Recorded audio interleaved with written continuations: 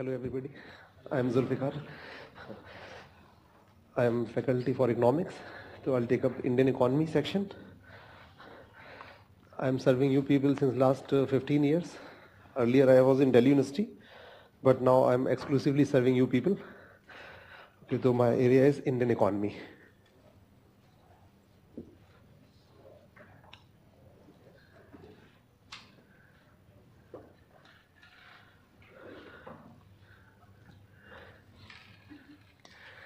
Okay. So since uh, it's your foundation batch, so we will take up uh, Indian economy from the uh, from prelims as well as mains perspective. And we'll take up your syllabus quite comprehensively, so entire syllabus will be covered. And regarding books, so I think since uh, coverage uh, of class notes will be very comprehensive, so you hardly need any book. No need. Just go through class notes because in the previous almost 15 years, you know, almost 80% questions directly click from class notes. You can check that. Whatever topic we'll discuss, we'll discuss so thoroughly, most of the questions will click. In, it may be prelims or maybe means, whatever exam. So if you want to study books, I think uh, 11th class NCRT if you want, you can go through 11th class NCRT, Indian Economic Development. And uh, actually in economics, NCRT's coverage is very narrow. So NCRT hardly covers your one-third syllabus. If you go through 11, 12 NCRTs, so it will cover hardly one third of your syllabus. This is the problem. Like in other subjects like in history or geography, NCRT's coverage is quite good. But in economics is very narrow. So this is the issue. So focus should be on class notes because they are very good books like Mishrapuri, Datin Sundaram, Uma Kapila. But these books are written for university examinations, not for UPSC. This is the problem. And those books which are written for UPSC exam, very famous book, they are actually not up to the mark. There are mistakes in those and the, the quality is not up to the mark. So I think the study material provided from here as well as class notes will be quite sufficient.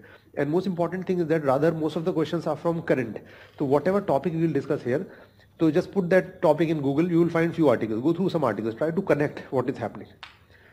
What will be our approach here? Our approach will be that we'll start with basics, assuming that you uh, uh don't have any background of economics and we'll start with ABC and then we will analyze whatever issues are there, whatever current uh, issues. We'll try to connect with the current happenings, newspaper articles, magazine articles, etc. So this will be our broad approach. So instead of going through books, it will be better you should just first learn notes and then go through few articles uh, relating to that, that topic and try to connect with them. That is more important because most of the questions are applied in nature.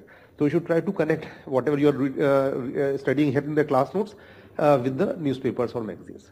This will be the approach. So the coverage of syllabus here will cover almost entire syllabus. We'll start with basics like chapter 1, basics of Indian economy and some socio-economic issues, poverty and employment inequalities, then growth and development, then national income, GDP, GNP, then some basic concepts of microeconomics like demand and supply, then money and banking in detail, like all issues relating to banking, problems, reforms, inflation, uh, financial markets, financial market reforms, and uh, uh, monetary system, monetary policy, monetary policy reforms. Then we will take up uh, government budgeting. In that uh, taxation separately, we will discuss uh, all uh, issues relating with taxation, recent reforms like GST, DTC, GAR, BEPS, etc. And then government budgeting. So government budget and issues relating with that, fiscal reforms and center-state financial relations, etc. Then we will take up economic planning, economic planning and policy and, and reforms then we will take up uh, industry. So industrial sector like industrial policy make in India and current issues, disinvestment and uh, industrial sickness, MSMEs, etc. And then we will take up infrastructure and uh, investment model. And finally, the external sector like balance of payments, exchange rate systems, and uh, uh, convertibility, um, foreign investment, foreign trade, international organizations, especially WTO, IMF and World Bank. So these issues we will cover. Means entire syllabus will be uh, covered thoroughly from both perspective. Okay, this will be the broad approach. Now we will start your syllabus with the chapter 1 that is uh, so this is the name of the subject. Now first chapter module is Indian economy and socio-economic issues.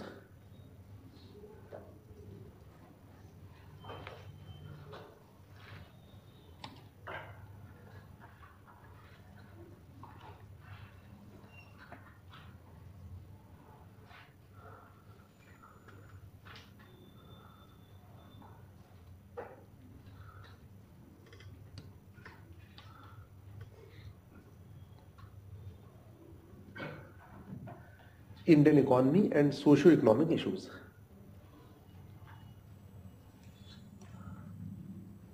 Module 1 or Chapter 1. So there are about uh, 18 modules overall in the syllabus. So this is first chapter, first module, Indian economy and socio-economic issues. So in this chapter, we'll start with basic skill features of Indian economy, one thing. And second, some socio-economic issues like three issues we will discuss here, poverty, unemployment and inequalities in India. So in Indian context, how we measure what issues are there, Issues we will discuss in this chapter.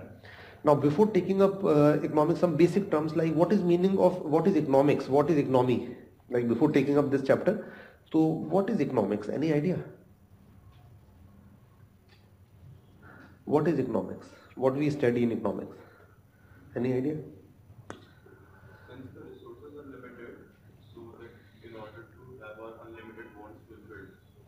in simple words.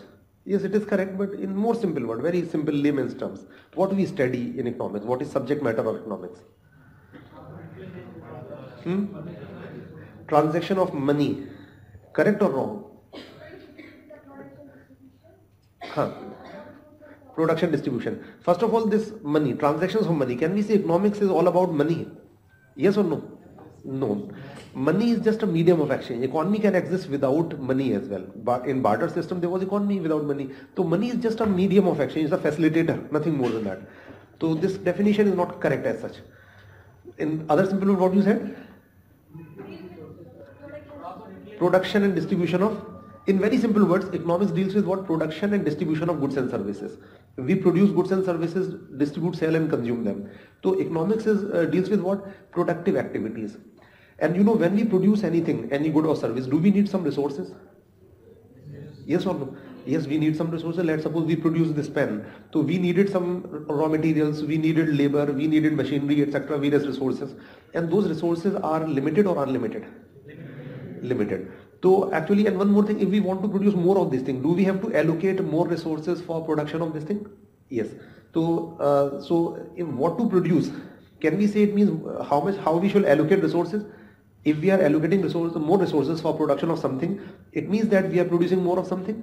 Yes or no? So in other technically we can say in simple words we can say economics deals with what production of goods and services and alternatively we can say economics deals with what allocation of resources and resources are limited or unlimited limited in uh, which sense absolute sense or relative sense no there can nothing is more or less in absolute sense. It is always relative. Relation in relation to what? In relation to our needs or demands. We are actually very actually rather greedy. So man is by nature is very greedy. We want more and more. So resources are huge resources are there, but in relation to our need or demand, we actually want more and more. So in relation to our demand, resources are scarce. So do we have to make a uh, judicious use, optimal use? Yes, because if we allocate more resources for production of something, we have to forego production of other things. So we have to decide how we shall allocate our resources. The focus of uh, economics is on optimal resource allocation. what is meant by optimal here? When in what manner we shall allocate resources, then we, we may call it optimal. That is efficiency means with minimum input you can maximize output that is efficiency what is optimal allocation of resources proper what is meaning of proper means what you meant by proper which type of allocation you will say it is proper or optimal hmm? maximum needs of people to some extent actually resource allocation will be optimal when we will allocate resources in such a manner which will maximize human well-being welfare. Ultimate objective is that whatever limited resources we have, we shall use them optimally. Optimally means that we shall use them in such a manner that will uh, uh, means maximize satisfaction of human welfare. Means overall so human welfare should be increased. Ultimate objective of economic activities is to enhance the well-being of people simply. Or you may write down simple definition of economics.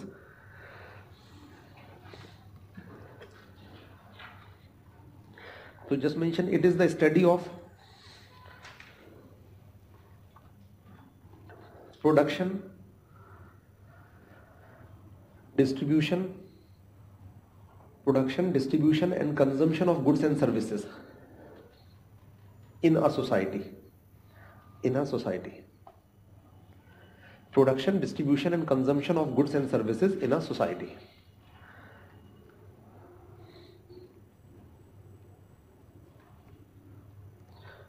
so one very simple definition is that uh, it is the study of production, distribution and consumption of goods and services in a society. So a society or a country uh, uses resources to produce goods and services. Goods and services are produced and they are sold and they are consumed. So this process is actually studied in, uh, studied in economy. Although one definition, uh, one uh, economist is Adam Smith who is regarded as father of economics, he defined it as science of wealth. But technically economics is science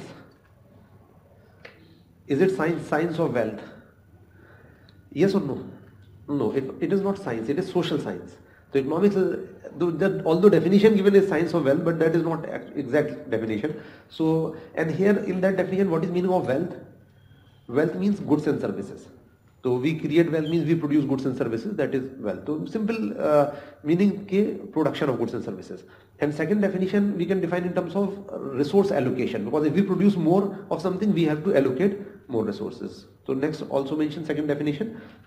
It is concerned with the, the optimal allocation. It is concerned with the optimal allocation of scarce resources.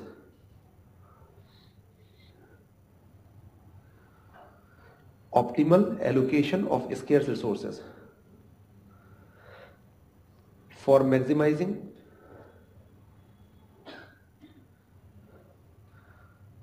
for maximizing human welfare for maximizing human welfare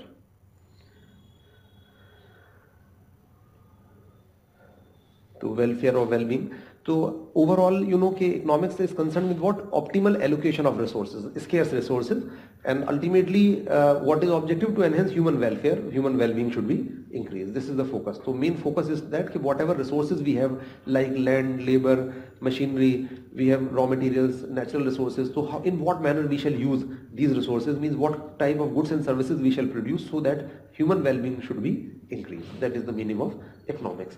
So, and, another question is that just assume that resources might be unlimited. We might have everything in unlimited quantity.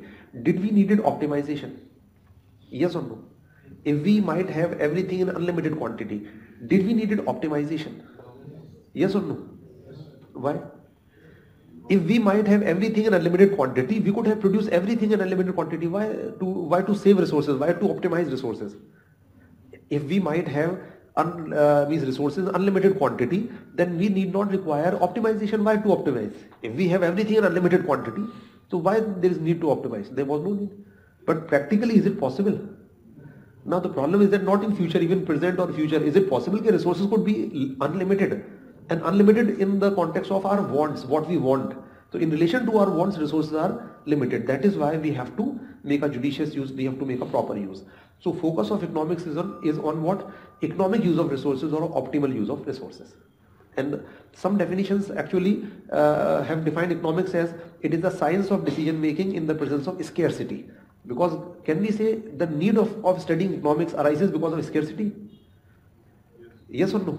Yes, if resources may not be scarce, we need not require economics. Clear? So why we need economics? And there are two branches, two main branches of economics one is microeconomics, other is macroeconomics. Can you tell me the basic difference?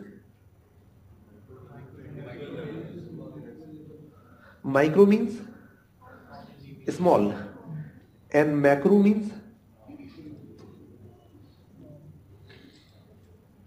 macro means large.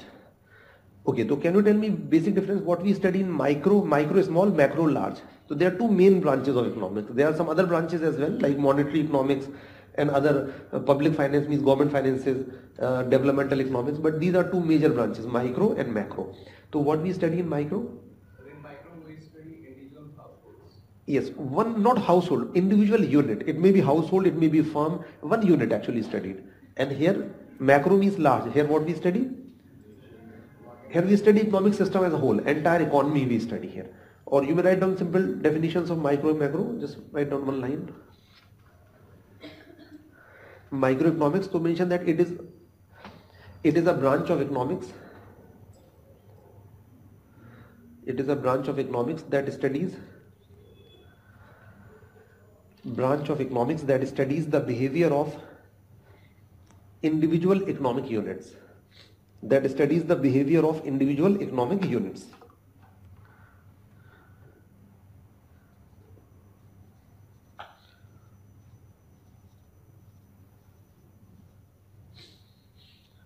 individual economic unit that studies the behavior of individual economic units. Example, income of a person. Example, income of a uh, person, comma, output of a firm,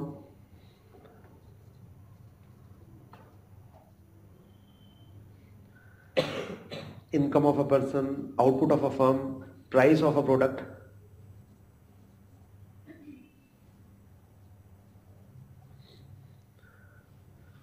price of a product, etc. To microeconomics studies behavior of individual units, individual economic units. Now, for example, income of a person, one person, output of one firm, how much one firm should produce output to maximize its profit, price, how firm should put a price to maximize profit. So one unit is studied, a person, a firm, behavior of a person, firm or product. So one unit is studied in microeconomics. Okay. Now also mention macroeconomics. So mention that it studies an economic system. It studies an economic system as a whole. It studies an economic system as a whole. It studies an economic system as a whole. That is economic system as a whole. That is, it takes into account overall aggregates it takes into account overall aggregates it takes into account overall aggregates and averages overall aggregates and averages of an economy overall aggregates and averages of an economy तो overall aggregates and averages of an economy example national income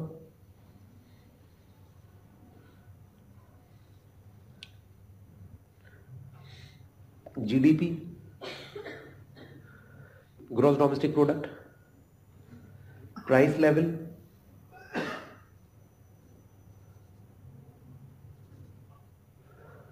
etc okay so what i've dictated it is it studies what economic system as a whole entire system so what we study in entire economy either aggregates of economy or averages of economy so it takes into account overall aggregates or averages of an economy. For example, like here we have discussed income of one person. When we add up income of all people, we get what? National income in a country. So this is aggregate. Similarly, output of, of one firm. When we add up value of output of all firms in a country, we get GDP. So these two are what? These are aggregates. So either aggregates or averages.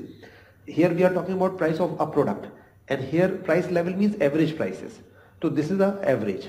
तो either we study aggregates और averages in the entire economy for example when we say inflation what is meaning of inflation inflation means price of हाँ तो it's a micro और macro economic concept macro when we say inflation means increase in average prices of goods and services in an economy overall in the economy तो either averages are studies of the entire economy और aggregates are studied in macro clear तो in class twelfth you know तो difference I think clear तो I repeat once more की here one unit study and entire economic system so in class twelfth they are two books one is micro economics other is in macro economics in class twelfth N C R T तो two books are there in class twelfth N C R T तो which book is more relevant for you macro because you have to study Indian economy your syllabus is Indian economy तो in micro they are some basic concept are there like how firm should take a decision. Some basic tools are there. So that are not required for GS point of view. But some basic tools are important for understanding Indian economy. Like usually we talk about demand and supply in newspaper. So at least you should have idea of what is demand and supply. So out of these about 18 modules, one module is dedicated to micro only.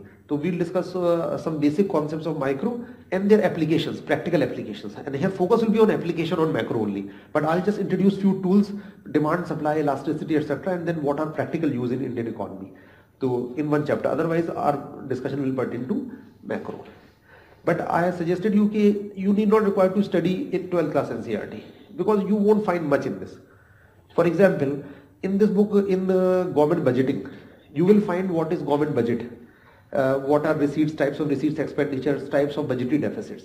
Only this you will find. But you have to go much beyond that. You have to see implications of each deficit. Then what has been trend of deficits. Then what government did, like fiscal reforms. What constraints faced by government in reducing deficits. So lot of things you have to see uh, and apart from that center-state financial relations, lot of issues are there, special category status, fund distribution through finance commissions, cooperative federalism, competitive federalism, and a lot of other issues are there in government finances. Apart from that, taxation is a part of budget itself. So taxation is itself very long, especially GST is a very important reform, not just tax reform, it is an entire reform of the economy.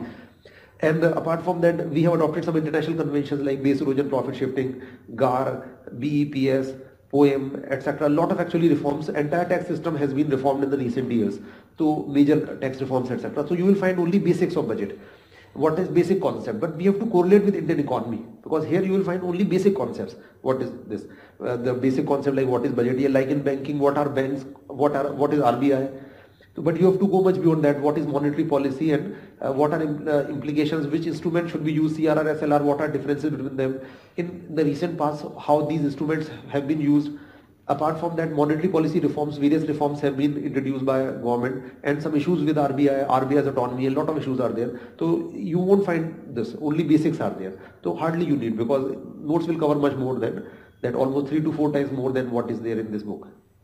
Okay.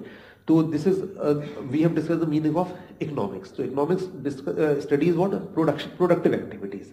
Okay. And these are the two major branches of economics. Now what is difference in economics and economy? Now we will discuss Indian economy here. So what is the difference in economics and economy? Any idea in very simple words? Because we'll be taking our first chapter Indian economy, features of Indian economy. So what is meaning of economy? It's very simple I think on the basis of common sense you can tell. Related to particular country or region. Correct or wrong? Yes economic activities in a given region or a country uh, means economic activities in a given region is economy of that region Of that region could be a country that region could be a state or a city so economy of delhi we can say economy of india so economic activities like productive activities production distribution of goods and services in an economy that is actually economy so or just mention one line economy means it refers to productive activities productive slash economic activities productive slash economic activities in a given region in a given region so productive activities in a given region so productive activities in a given region is economy like when we say economic activities production distribution of goods and services in india we call it indian economy okay these are some basic terms related to economy okay now we'll discuss the first uh, topic so as I told you in this chapter we will discuss four topics. So one topic is features of Indian economy and three socio-economic issues as I told you poverty, unemployment and uh, inequalities. So first we shall start with first topic that is features of Indian economy.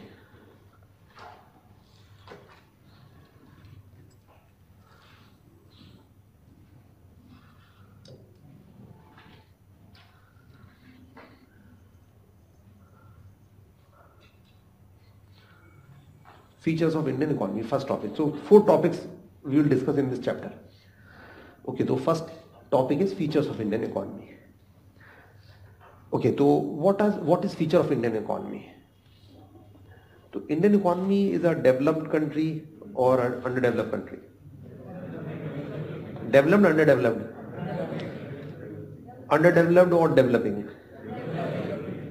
Actually in economic literature underdeveloped country and developing countries are used interchangeably. Till now no distinction is made. So when we say developing country, we mean underdeveloped country.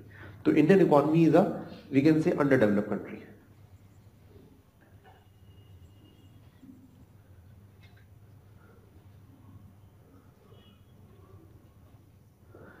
In, in short UDC.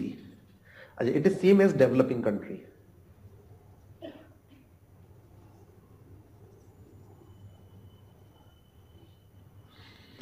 तो under develop country और developing country other type of countries least develop country L D C तो L LDC are different तो India is a developing country also it is better to see a developing country but even I'll give you some data which will show के even under develop country is not the not means in appropriate now why on what basis we say India is a under develop country UDC So, you know, since at the time of independence, situation was very grim, situ- country was very underdeveloped. Since then, significant transformation happened. Yes or no? Especially after economic reforms of 1991. Because whenever we study Indian economy, we usually divide it in two phases. One is pre-reform era from independence till 91 and in 1991 we adopted uh, major reforms like liberalization, privatization and globalization and after that growth of economy accelerated significantly to uh, overall transformation happened in India from independence, especially in uh, uh, after 91. But despite all transformation, you know, we have almost all features of an underdeveloped country. Now, what are features? So standard of living is low or high? Low. One feature of Indian economy is why we are saying we are underdeveloped country still because low standard of living.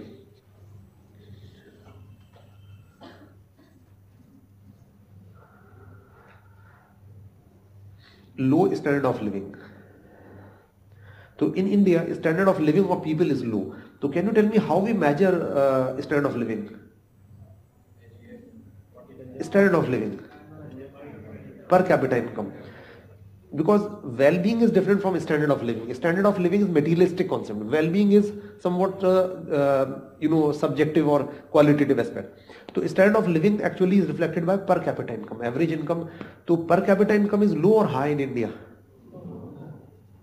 low per capita income how much per capita income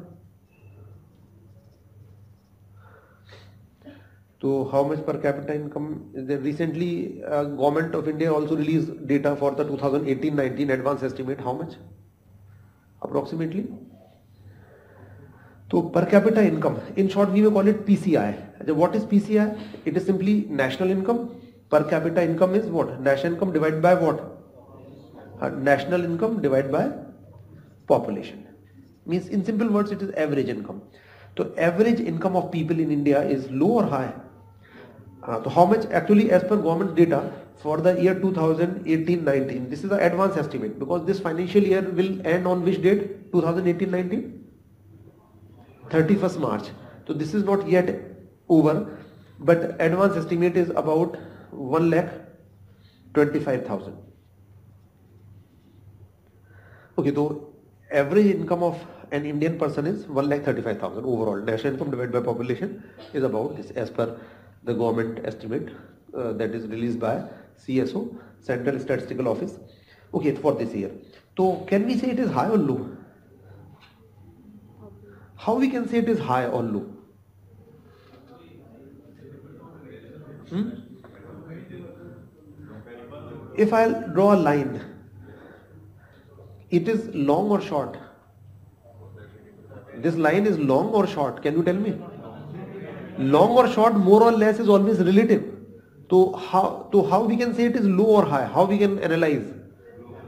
we have to see income of other countries or world average. So it is higher than world average or as compared to other countries, it is higher low. So we can actually uh, cannot say more or less until unless we know the per capita income of other countries. Okay, now I'll give you some data. So then we should be using in dollars or rupees then.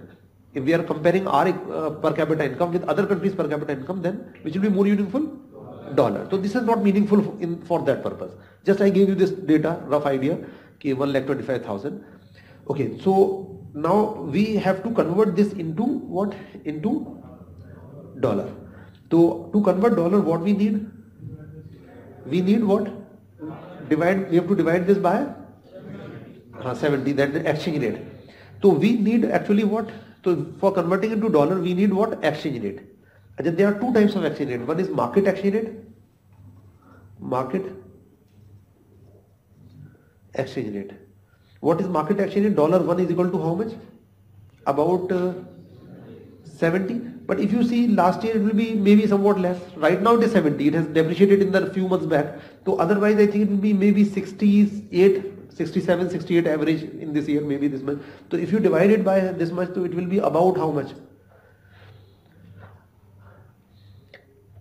It it was dollar about 2000 approximately. So I'm giving you this is uh, means approximately it will give this data. It may be somewhat less. If you divide by 68, I think it will be somewhat less. But actual data for the year 2018, this is the data for 2018 from IMF, but it is not final data. It is provisional data, so it will be revised. So approximately you should know that our per capita income was about rupees 2000. Exactly in that projection it was written 1989 um, you need not require to go in that recession, 1,800, uh, 989. So that is almost 200, 2000. And this is, you know, data is revised several times. In IMF, every uh, quarter uh, update is available. Like in January update, then then there'll be in uh, April. So uh, after three uh, three months there is update. So minor revisions could be made. So you should have rough idea that our per capita income is about 2000. Okay, in terms of market exchange rate. So if you divide this by 68, maybe 66, maybe average exchange rate at that time 66, so you may get about this much, approximately. Okay, but this is the exact data from IMF. Okay, so this I just told you how we arrive at $2,000 by dividing this by exchange rate, market exchange rate, maybe 66, 67, whatever. Okay, so this is one way. Other, there is one more type of exchange rate. What is that exchange rate? PPP purchasing power parity purchasing power parity तो they are two types of action in one is the market action in market action in means के at which transaction take place if you go to let suppose abroad तो you need to buy dollars तो you have to buy from a market means from a bank तो you have to pay whatever is prevailing rate at that time maybe seventy rupee now तो you have to pay seventy rupee that is market action in one is purchasing power parity action in तो we will discuss in detail later I just give you brief idea So can you tell me what is this exchange rate? It is based on which thing? Market means demand and supply, on buying and selling. And purchasing power parity, this exchange rate is based on what? It is based on purchasing power. Purchasing power of what? Currencies. Purchasing power of rupee in India and purchasing power of dollar in America. So PPP, purchasing power parity exchange rate, is based on purchasing powers of currencies in their own countries, in their respective countries. Like what rupee can buy in India as compared to what dollar can buy in USA. So what is this exchange rate?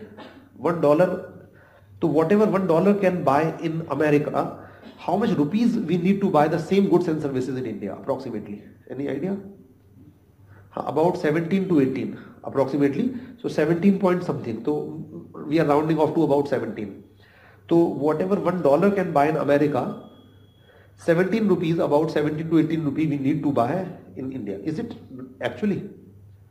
Whatever in general, 1 dollar can buy in America. Uh, do we need 17 rupees in India or 70 rupees 68 or 70, right now it is 70.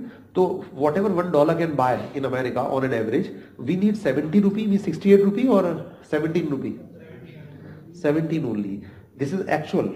Actually it is based on purchasing power.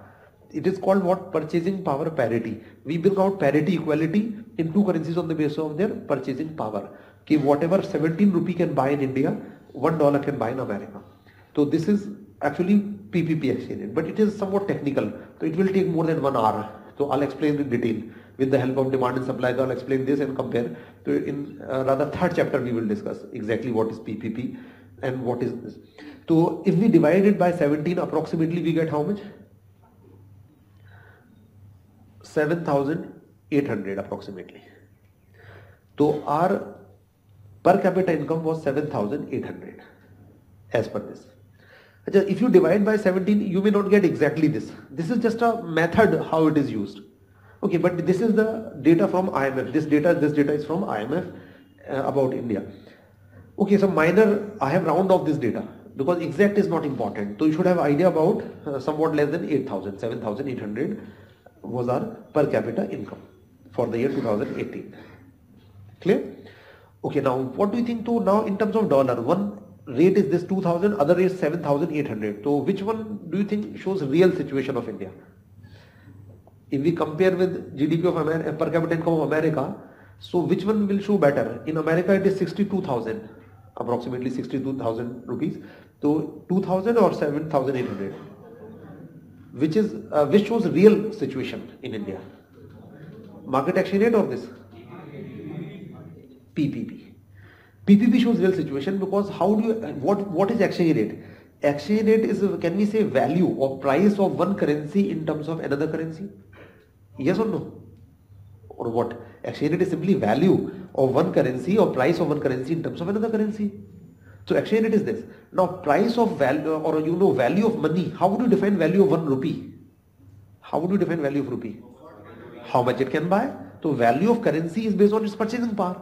So here we are actually bringing parity, equality into currencies on the basis of their purchasing powers. So this will show real worth or not? Yes, this shows real worth. And it should be clear that if, uh, if in two countries per capita income may be exactly same on the basis of market exchange rate. in per capita income is exactly same on the basis of market action rate, can we conclude that li the uh, living standards must be exactly same? Yes or no? No. If per capita income is same on the basis of PPP, then can we conclude the living standards must be same, average income will be same in terms of goods and services? Yes, in terms of availability of goods and services. So this shows the real situation. Now how, why, how it shows real situation, I have give you brief idea only. It will take some time as I told you. So in third chapter I'll discuss in detail this and this, how calculated, what is difference. Okay, so this is actual. Now I will give you now it is more or less. Now we will actually compare not in rupees, not with this. Now we will compare with this one. Okay, now I will give you per capita income of some other countries. Which country was having highest per capita income? Qatar. 1 lakh 29,000 dollar and that is obviously in PPP. Okay तो because I am comparing with this तो Qatar one lakh twenty nine thousand है okay USA number one only then Macao second third Luxembourg okay तो USA हाँ sixty two thousand slightly more than sixty two thousand China dollar eighteen thousand China China dollar eighteen thousand So what it mean in India about less than 8000 in China 18000 so it means that China's per capita income is how much more than double is almost 2.3 times more than India so more than double so you should have rough idea and this is actual in, in actual terms of uh, goods and services available to people although Pakistan should be higher lower than India obviously lower but not achievement it was at least higher than Pakistan, the Pakistan 5700. Okay, and uh, the more important data is of world average. World. World average was almost equal to China. China was close to world average.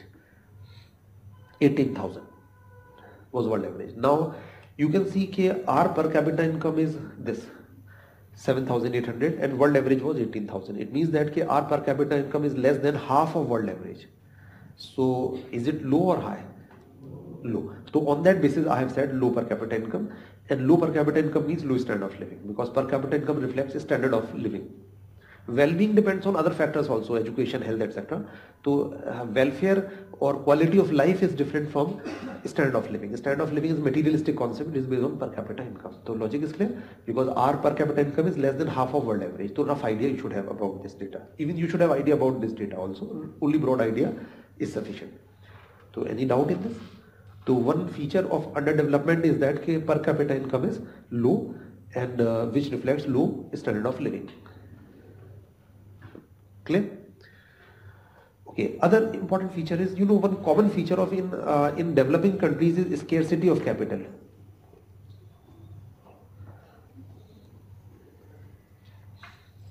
Scarcity of capital. So what is meaning of capital here in economics normally investment means or in more simple word capital means in simple word machinery factory so in very simple words when we say capital here we, it means machinery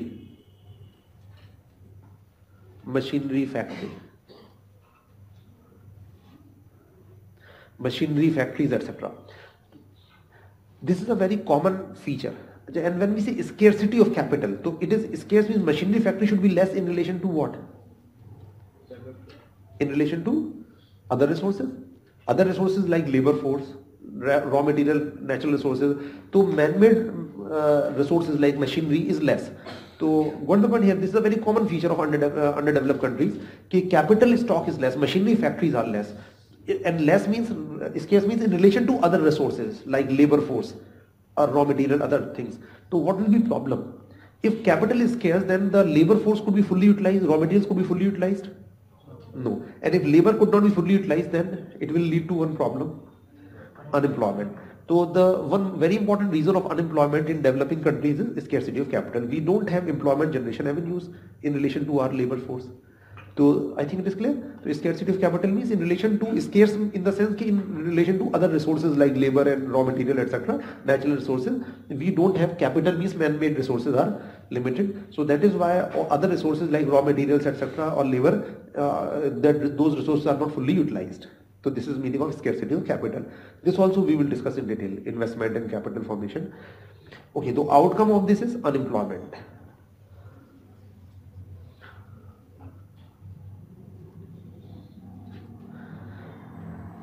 unemployment. So ultimately, you know, unemployment rates are high or low in India relatively? High. This is a very important agenda. A lot of articles were there in the recent past you might have read. We will discuss in detail. It will take more than two hours. Unemployment is very, very important topic. So in much detail we will discuss. Okay, what issues are there? A lot of articles are there in the recent past regarding unemployment. So one important reason is this. A lot of other reasons we will discuss. Unemployment will lead to one more problem, you know. If people may not have job, it will lead to one more problem. Really. Economic मतलब crime yes crime could be there but we are talking in terms of economic poverty because if they people may not have job some people may not be able to buy basic necessities maybe food even still people are hungry in India we have not we were not successful we have not been successful to eliminate even hunger in in the country तो it will lead to what poverty तो poverty is quite high So what is what percentage of population is poor as per government government data? Hmm, as per government data, 21.9 मतलब about 22 percent population is poor. So as per Suresh Tendulkar methodology which is being used by uh, the Niti Aayog, so 21.9 is about 22 percent population. and as per other reports also we will discuss poverty also is very important topic it will also, it is also a long topic so we will discuss as per multidimensional poverty index 27.5% population is poor and maximum number of poors are in India. As per international poverty line of World Bank, so uh, um, recently few months back, uh, earlier number of maximum number of poors were in India, but now number of poor have somewhat reduced. So maximum are in Nigeria, second are in India as per international poverty line. But as per multidimensional poverty index, uh, maximum number of poor are in India. So means number in terms of number of poor they are very high. and even in terms of percentage of poverty, percentage of population uh, which is poor, that is also quite high. So in, we will discuss in much detail. So as per official data, 22%, and that is already too, that is quite high. Okay, other thing is related to this is if unemployment will be there, poverty will be there, there will be one more problem, socioeconomic problem, inequalities. So inequalities. Here inequality means relatively high, means unemployment is on higher side, poverty is on higher side, inequalities are also high. Okay, so these are somewhat interrelated. So when, when people uh, will be poor, they will not be employed, their income will be low, so inequalities will be somewhat more. So inequalities are also high. Now, okay, this is very simple. Is, uh, underdevelopment uh, means uh, unemployment and poverty is a feature of underdeveloped country. Yes or no? Without any doubt. Okay. Inequality is also a feature of underdeveloped country. Yes or no? Hmm? Yes or no? No. In America, inequalities are much higher. So it is not a feature. So why we are putting here? So uh, we have to justify for this. Yes or no? We cannot say inequality itself is a feature. Now how we can justify this? Okay, unemployment is very simple. If unemployment is there, poverty is there, country must be poorer, obviously. But we have to justify inequality. So how? There is one actually hypothesis that is called Kuznets hypothesis.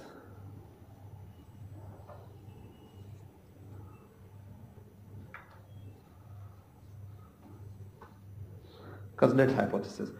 This concept was given by Simon Kuznets. Simon Kuznet.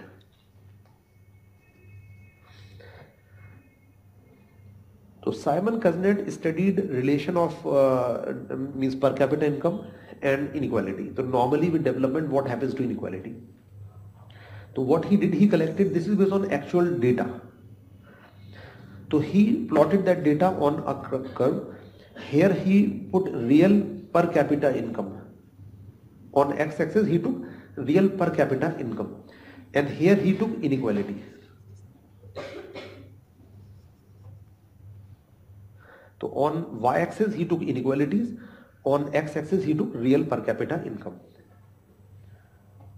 What is meaning of real? Here we have used our real per capita income. Any idea what is meaning of real in simple words? For example, let us suppose GDP. GDP in simple words is a value of goods and services produced in a country. There is a separate chapter. In chapter 4 we will discuss in much detail what is GDP, GNP, all these things. But I am giving you in very simple layman's words. So if GDP means quantity produced, let's suppose we produce 100 goods and price of each good was 10 rupee. So how much will be value of this? 1000 rupee. Okay, so GDP means value of goods and services produced in a country. If we quantity produced is 100 and price was 10 rupee, so how much value of goods we produced? 1000 rupee. So GDP will be 1000. Simple. Clear? Now next year what happened? Next year GDP of a country production remained same but price increased to 11. Production we produce again same good. This is last year, this is this year. This year we produce same quantity of goods but price increased to 11. So it will be how much? 1100. Uh, so GDP will be 1100. Now can we conclude that our economy grew by 10% last year at 1000 now 1100? So can we conclude that economy is growing here? No, so, but GDP has increased. How it has increased? Because only because of inflation. So is it a real growth?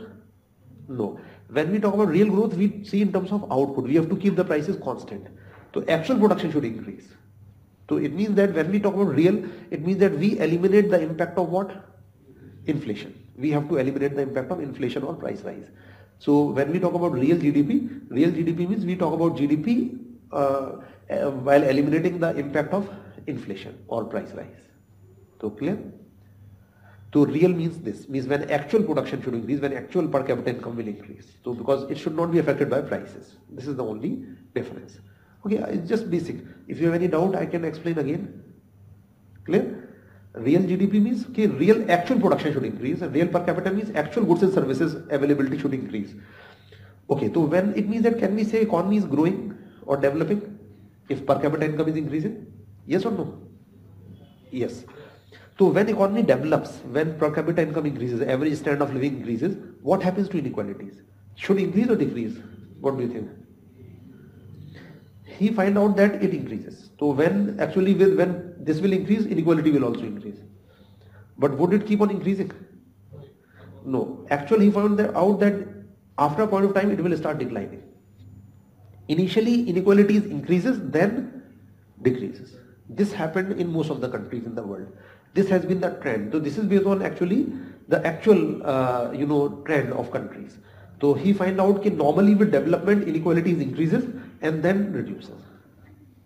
Okay, why this happens now? This is the trend which happened in the world.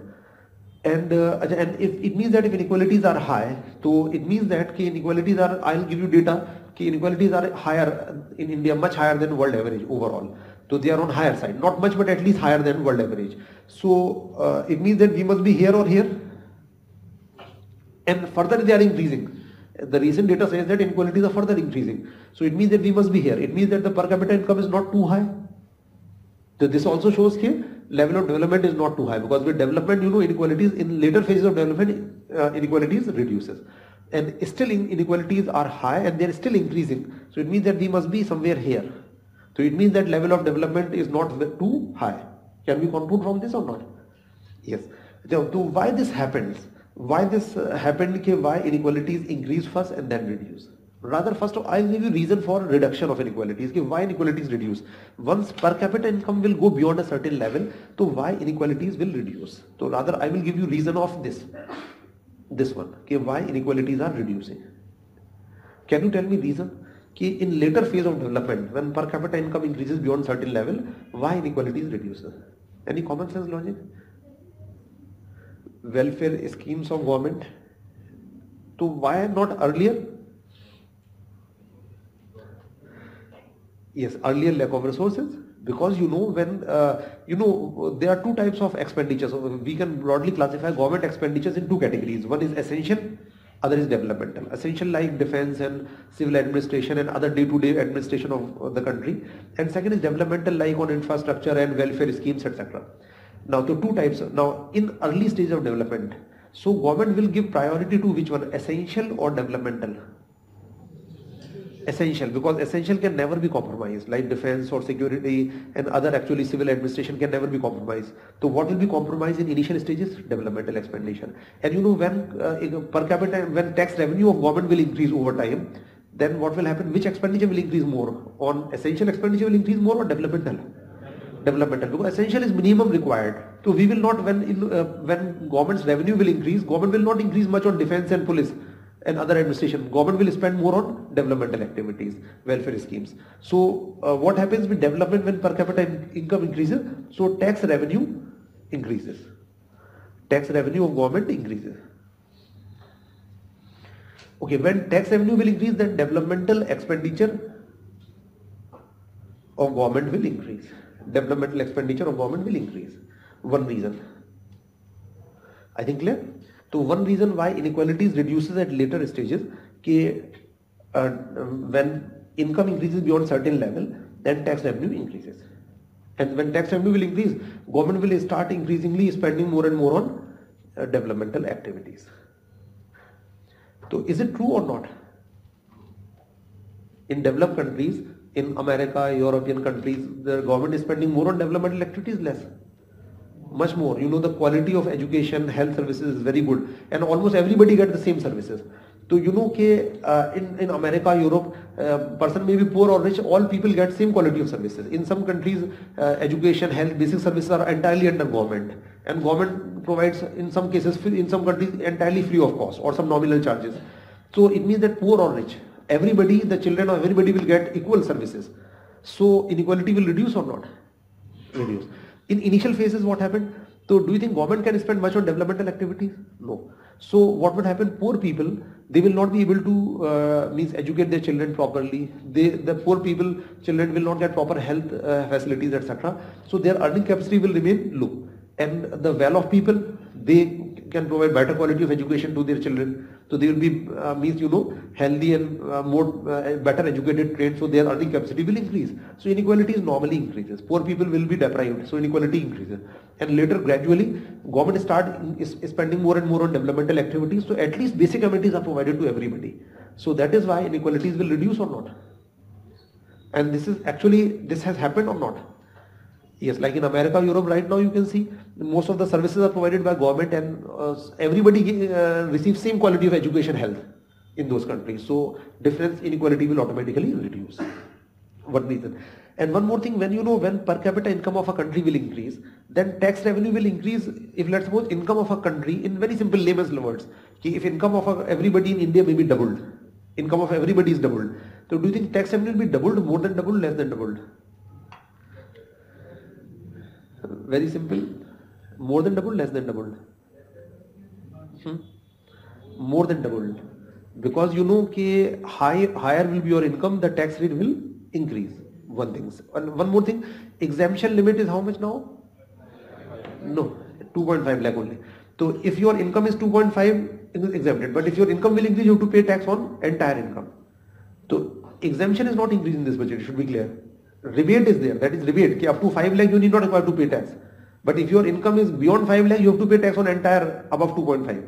Okay, so exemption is, has not increased. Uh, rebate is there, which has effectively your income is up to 5 lakh will be exempted. So we'll discuss in taxation in detail. So that is not exemption, that is a rebate. So anyway, beyond your uh, that level, whatever 2.5 or you may consider 5 lakh effectively. So if your income is beyond that, your entire income will be taxable. So if your income will be doubled, then tax li uh, liability will be more than doubled, less than doubled, more than doubled. Clear? So normally when income increases, so beyond a certain point of time, revenue will increase at much higher rate and when revenue will increase, government's developmental expenditure will increase. So everybody will get basic services. So everybody is developed to full potential. So inequalities will reduce. I think clear? One reason. Any other reason? Other reason is actually second uh, reason is trickle down.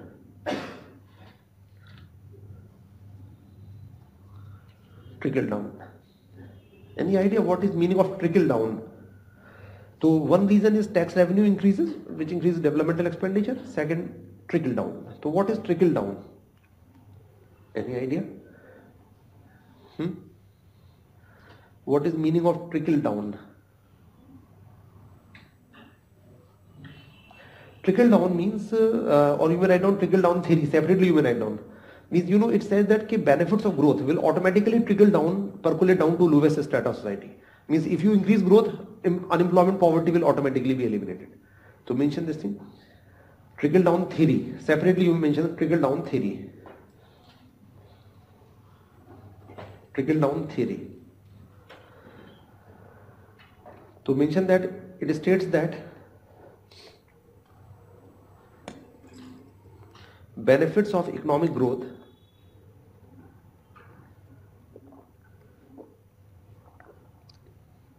benefits of economic growth automatically percolates down.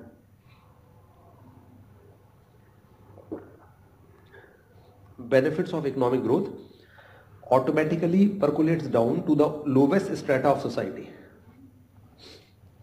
Automatically percolates down to the lowest strata of society. Automatically percolates down to the lowest strata of society. benefits of economic growth automatically percolates down to lowest strata means whatever benefits of growth will automatically go down or that is also mentioned that is economic growth that is economic growth automatically eliminates unemployment poverty etc economic growth automatically eliminates poverty unemployment etc economic growth automatically eliminates poverty, unemployment, etc. Means if growth will be higher, more production means more jobs will be created. When more job, people will get job. They will not be poor. They will buy basic amenities. So this is the uh, theory trickled down. Now, do you think does it happens or not? Yes or no? Hmm? Or it may be more likely in short run or long run long run actually. Like we will discuss in economic planning in second five-year plan Mahalanobis model actually our strategy was based on second five-year plan and in that actually it put a reliance on this and this happened K growth it focused on industrialization and promoting growth so, and it thought that K unemployment poverty will automatically be eliminated. That happened in India? No, that failed because it, it takes much longer time actually. So trickle down happens to some extent but the process is very slow, very gradual and it takes much longer time. So but or can we say it never works? Can we say it never works? No, it works actually, but it takes long time actually. So uh, in India, uh, we actually relied on this, but this that didn't happen. Then government realized, no, we cannot rely on trickle down. We have to put direct effort to eliminate poverty and create jobs. So, uh, so overall, what happens in initial stages, trickle down don't happen. But in later stages, you know, trickle down happens because when when growth will increase, production will increase, more and more jobs will be created. Then very poor people, very vulnerable people, they will also get chance, uh, will get options for jobs. So they will no longer be uh, prone to exploitation because earlier, maybe 30, 50 years back, most of the people, you know, they in uh, mainly poor people, uneducated people, they don't have much, didn't have much options for work. So they were ready to accept anything even I think 40, 50 years back in rural areas, if anybody uh, got work for food just, just for food, that person was willing to accept it or not. And rather was very happy. If a person can get job uh, just for food, person was very happy. Why? Because person even didn't had this option to feed themselves. So uh, their bargaining power is low. They are prone, prone to exploitation. But when growth will happen, then more and more uh, means everybody will get options for job. Then they will no longer accept any menial job or their bargaining power will increase. For example, in developed countries, you can see the uh, means salaries or of, uh, means low uh, means menial jobs or household workers are they low? No, because they also have uh, options actually for jobs. So that is because of trickle down. Because gradually, you know, everybody will have option. So the very poor people are no longer prone to exploitation. So this happens actually, but gradually. So initially it trickle down don't happen. So inequalities will increase. Later gradually it start happening and inequalities reduces. So I think it is clear why this happens. So why we have discussed inequality as a cause of underdevelopment because inequalities are high and still increasing. So it shows that we are expected to be somewhere here most probably. So it means that it is a feature of underdevelopment.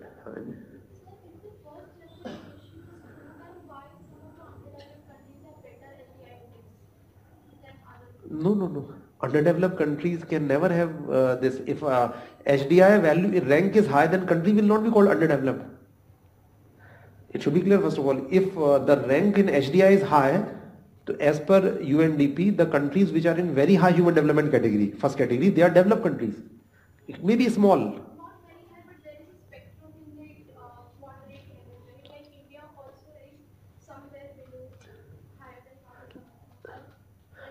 No, no, India is above Pakistan. In HDI, we are much above Pakistan. In happiness in disease, Pakistan is slightly above India. In happiness, that is psychological. In chapter 2, we will discuss this issue. So, but if HDI value is high, then country will not be underdeveloped. Like if you compare with Sri Lanka, so quality of life is better in Sri Lanka as compared to India. The HDI rank of Sri Lanka is much higher than India. So size of economy is different thing. Level of development is different thing. Like some European countries are very small, but they are much, much developed growth may be low. In developed countries, growth is usually low. So growth is different thing. I, am coming to that point also. Okay, so I think it is clear. So inequalities uh, are there. So these inequalities are high, and that is also a feature of underdevelopment. Huh.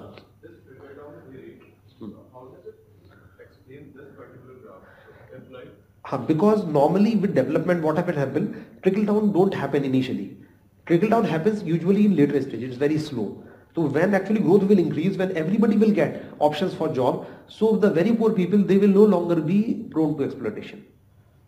So trickle down will start working. So it takes time for trickle down.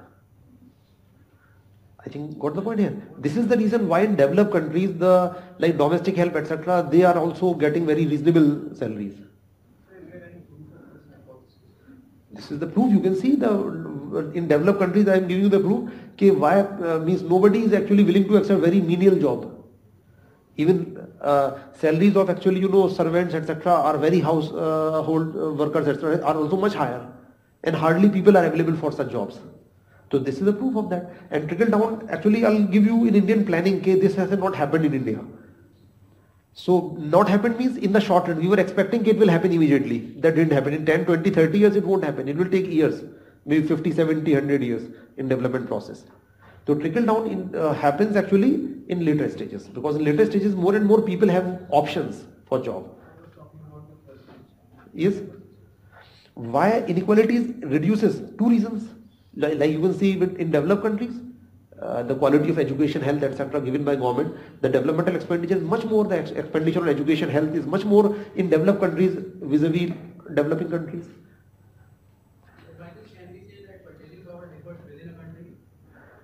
purchasing power means uh, here purchasing power means income.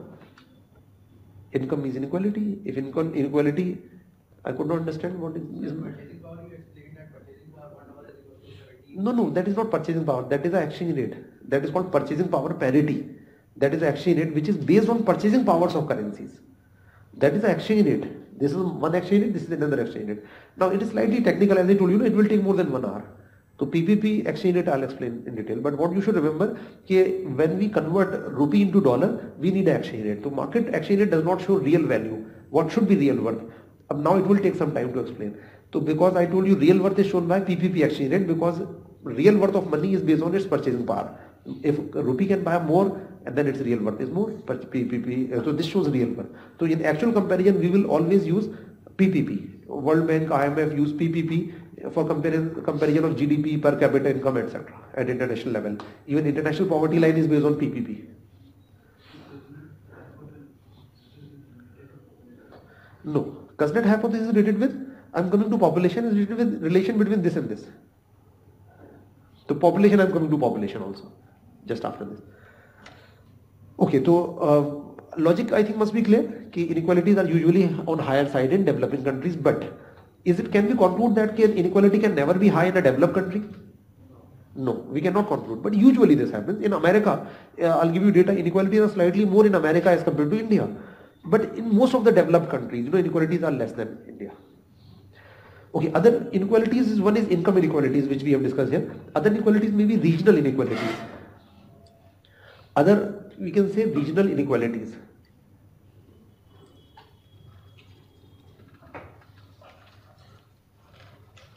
Can we also conclude this thing regional inequalities are even more in developing countries?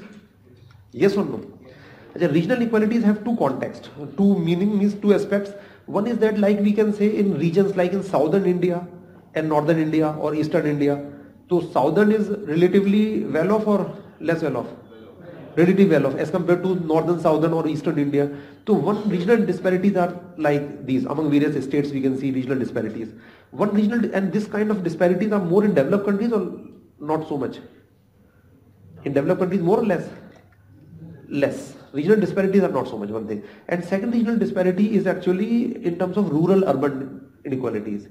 So in urban areas like you know in rural areas situation is quite pathetic still now so even it is said that there are two worlds in India. India, which is in cities, live in cities and developed, and other is Bharat, which is in rural areas, which is much backward. So there is a kind of divide. Two worlds have been created within our country. So inequalities are quite high or not? Yes. So in rural areas, situation is much worse as compared to in urban areas. But in developed countries, do you think the difference is so much?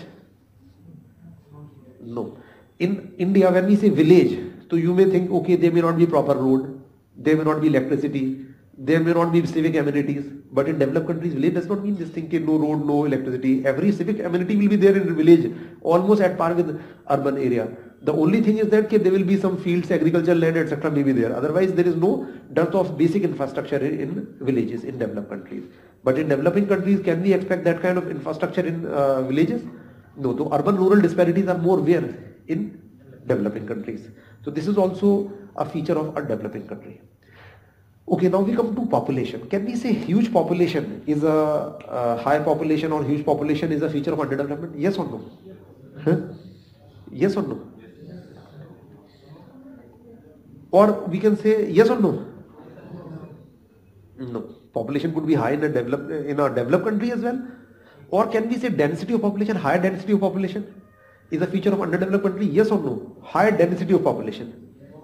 Yes or no? No. There are some countries which are highly densely populated like huh, Japan, Singapore and uh, I mean some countries and especially in coastal areas they're highly dense uh, or good areas, selected cities etc. They're highly uh, uh, populated, densely populated. So density of population is not a feature of development because some countries are very densely populated. Still they are developed.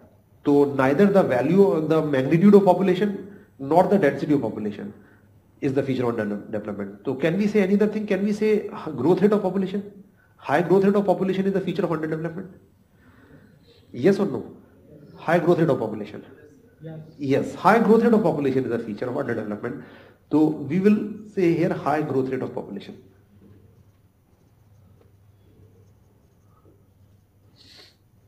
High growth rate of population. How you can justify?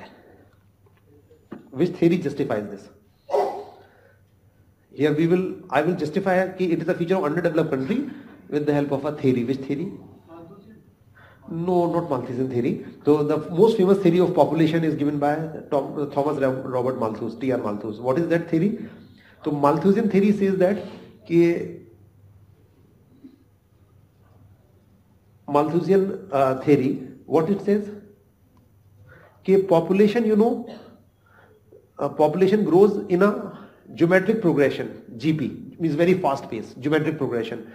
And food production increases in arithmetic progression means gradually additives मतलब ये multiplicative form में होता है geometric progression और ये additive होगा मतलब gradually तो it will increase at much faster pace and food grains production will increase gradually so what will happen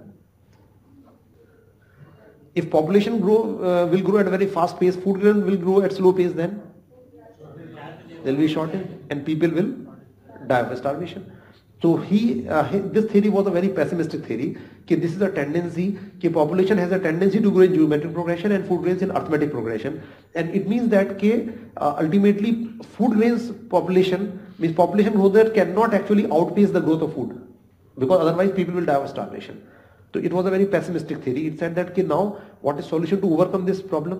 The problem is that we have to take some measure to control population growth. Otherwise, it will lead to this uh, uh, starvation deaths.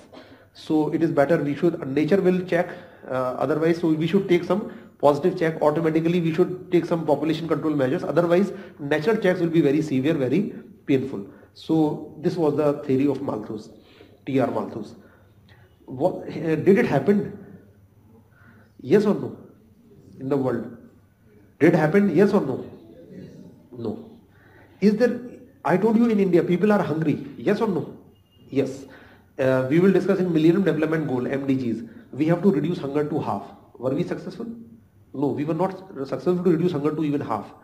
So uh, still hunger is there. So do you think people are hungry in India because we don't have food grains production? No, it should be clear that food grains are actually huge food grains are lying in our godowns. They are rotting actually. We don't have any capacity to store. So much food grains are there. But still people are hungry. Why they are hungry then? Because they don't have money to buy. So there is no dearth of food grains production. And not only in India but even in world. Overall if we see in the world, there is no dearth of food grains production. The people who are hungry, they are because of lack of purchasing power. So this has not happened. So this theory has almost failed. So here we will not talk about Boltzmann theory. We will talk about another theory. Which theory? That is theory of demographic transition. You might have studied theory of demographic transition.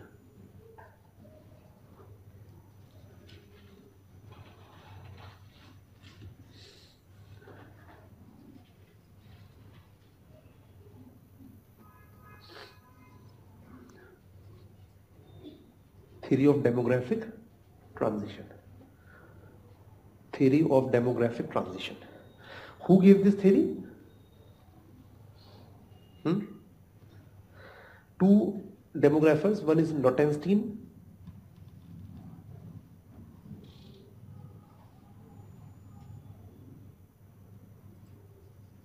Notenstein and Thompson. Notenstein and Thompson. Okay, so this is what is this theory to rather make a table तो in this stages birth rate death rate population growth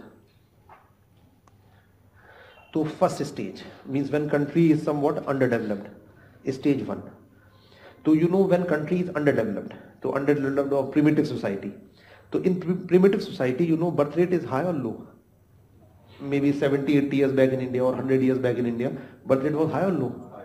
High. And death rate? High. And population growth? Low. Because when death rate is high, birth rate is high, death rate is high. So population growth is usually low and keeps on fluctuating. So population growth is usually low. It was there in India, like in uh, early uh, means 1910, 20, 30. Growth was population growth was low. in rather in 19 2011 to 19 uh, to 1911 to 1921 population growth rather was negative also rather decline in population in india okay so this is why our death rate is high lack of healthcare facilities because earlier you know 80 90 years back even minor diseases actually took toll on a lot of people's health, um, lives like for example cholera lot of people died because of cholera typhoid minor diseases lead to deaths of entire even villages so uh, death rate used to be very high because of because lack of medical advancement, lack of actually control over diseases. And why birth rate was high?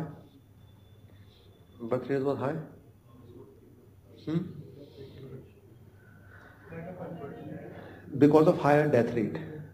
Because of high death rate. Because if a person may have two children, what was probability of uh, that even one will survive? High or low probability? low probability even one will survive. So people would like to have a uh, bigger families. At least 8-10 children should be there. Though at least one or two will survive. This was the reason people wanted to have more children. Got the point? Because mortality it was very high. This was the reason. I think clear? Okay. So again leave one line here and then leave one skip one line here. We'll add one more thing in one more theory. Ajay, then second stage means in transition. Uh, when countries start developing, then which will fall first? Death rate will reduce first or birth rate will reduce first? Death rate. Why death rate reduce first? Death rate reduce to low and birth rate will remain high initially. So first, what will reduce death rate? Can you tell me reason? Death because it will reduce because of advancement in medical facilities. So technological change is always fast, and this depends on what? Social factors. Social change is always slow or fast slow. It takes generations actually. Those people had a norm of having 8 10 children. So people uh, uh, used to keep on having this much children. So it will take some time. So this is, depends on technological factors, which is fast. It depends on social factor, it is slow. So population growth should be high or low here? High. And even it is called stage of which stage? What is name of this stage of population explosion? stage of population explosion stage of population explosion okay then leave one line here and the third stage a developed society means country become somewhat developed so you know birth rate will remain high or reduce death rate will remain low or will increase low so population growth rate will be low means birth rate will be low death rate will be low and population growth will be low.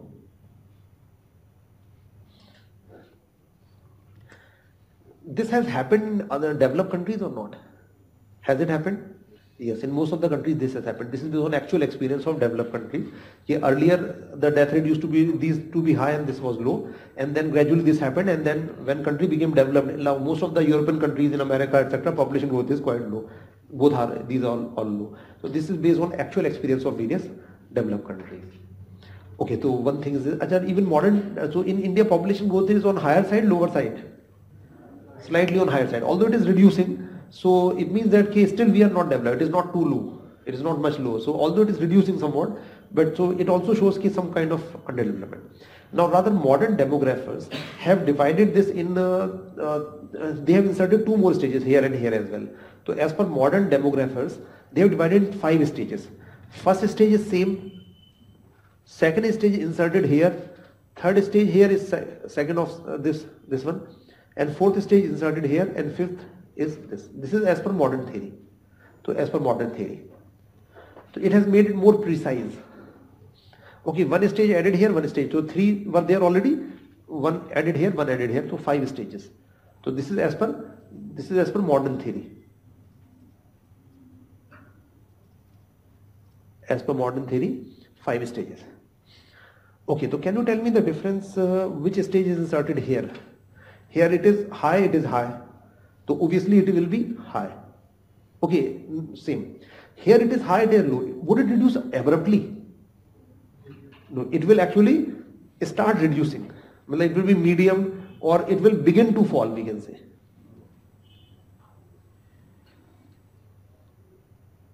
Begin to fall begin to reduce so it will begin to fall means it will be medium rather and when death rate will begin to fall population growth will begin to increase or will start increasing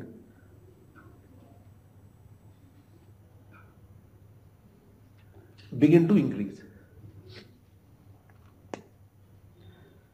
तो population growth will begin to increase.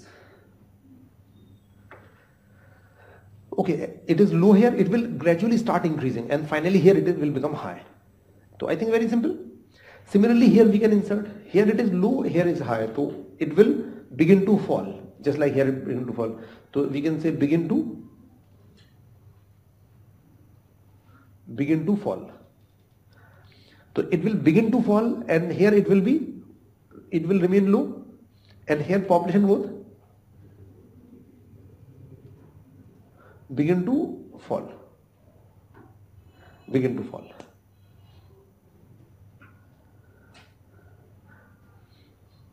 so as per this modern theory uh, we are in which stage first second third fourth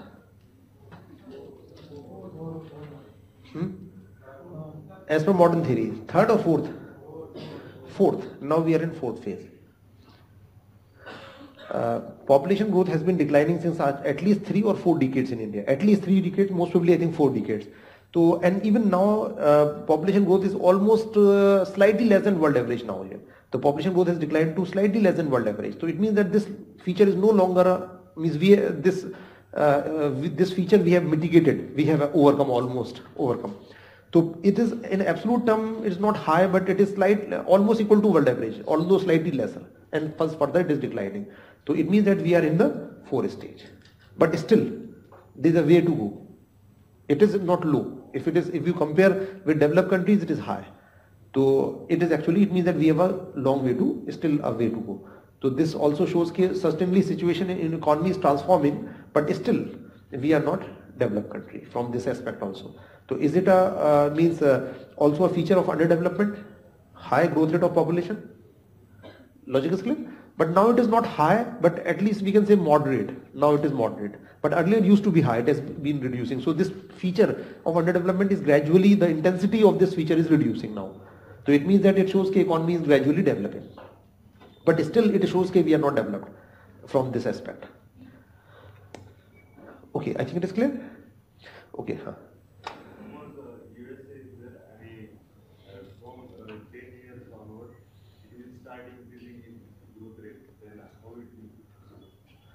uh, in America, you mean to say population growth? Now it is moderate. Huh, it is low. It will start increasing. So we are not talking about any one country. We are talking about in general what happens with development. This is a general trend. In one country, situation may be anything, but uh, it is a general trend that what happened in the world with development. This happened in the, in the world. So we are not talking about abruptly anything can happen in any country. There may be some specific issues could be there. But overall, what happened in the world is this. It is based on that. What normally happens. So I think it is clear. Okay, and finally now, and one more feature of this is कि uh, in developing countries, you know, share of agriculture is uh, is, uh, is large or small? Hmm? Large. So predominance of agriculture.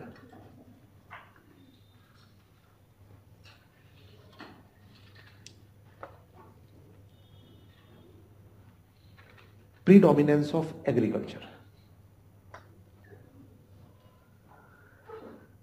How we can say the what is now, uh, uh, there are how many sectors? Normally we divide in three sectors, agriculture, industry and services. So I'll give you broad contribution of these sectors. So first we shall discuss contribution in GDP, then in employment. Contribution in GDP. Okay, so can you tell me the contribution of agriculture in GDP now? agriculture, industry and services. Okay, so in 1947 and in 2018.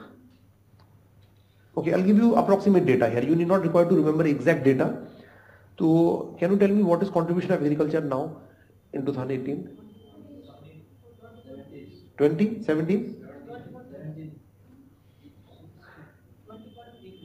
20.32 first of all never try to cram this data and this is very old data uh, 20 uh, 20 to I think uh, I think you must be confused in that I think five years back uh, in economic survey they have mentioned contribution uh, okay तो 20 20 तो हो ही नहीं है ये तो wrong है आपका data earlier five years back it was about 14 percent if you see economic survey of five years back it was about 14.3 something so uh, now it should be more or less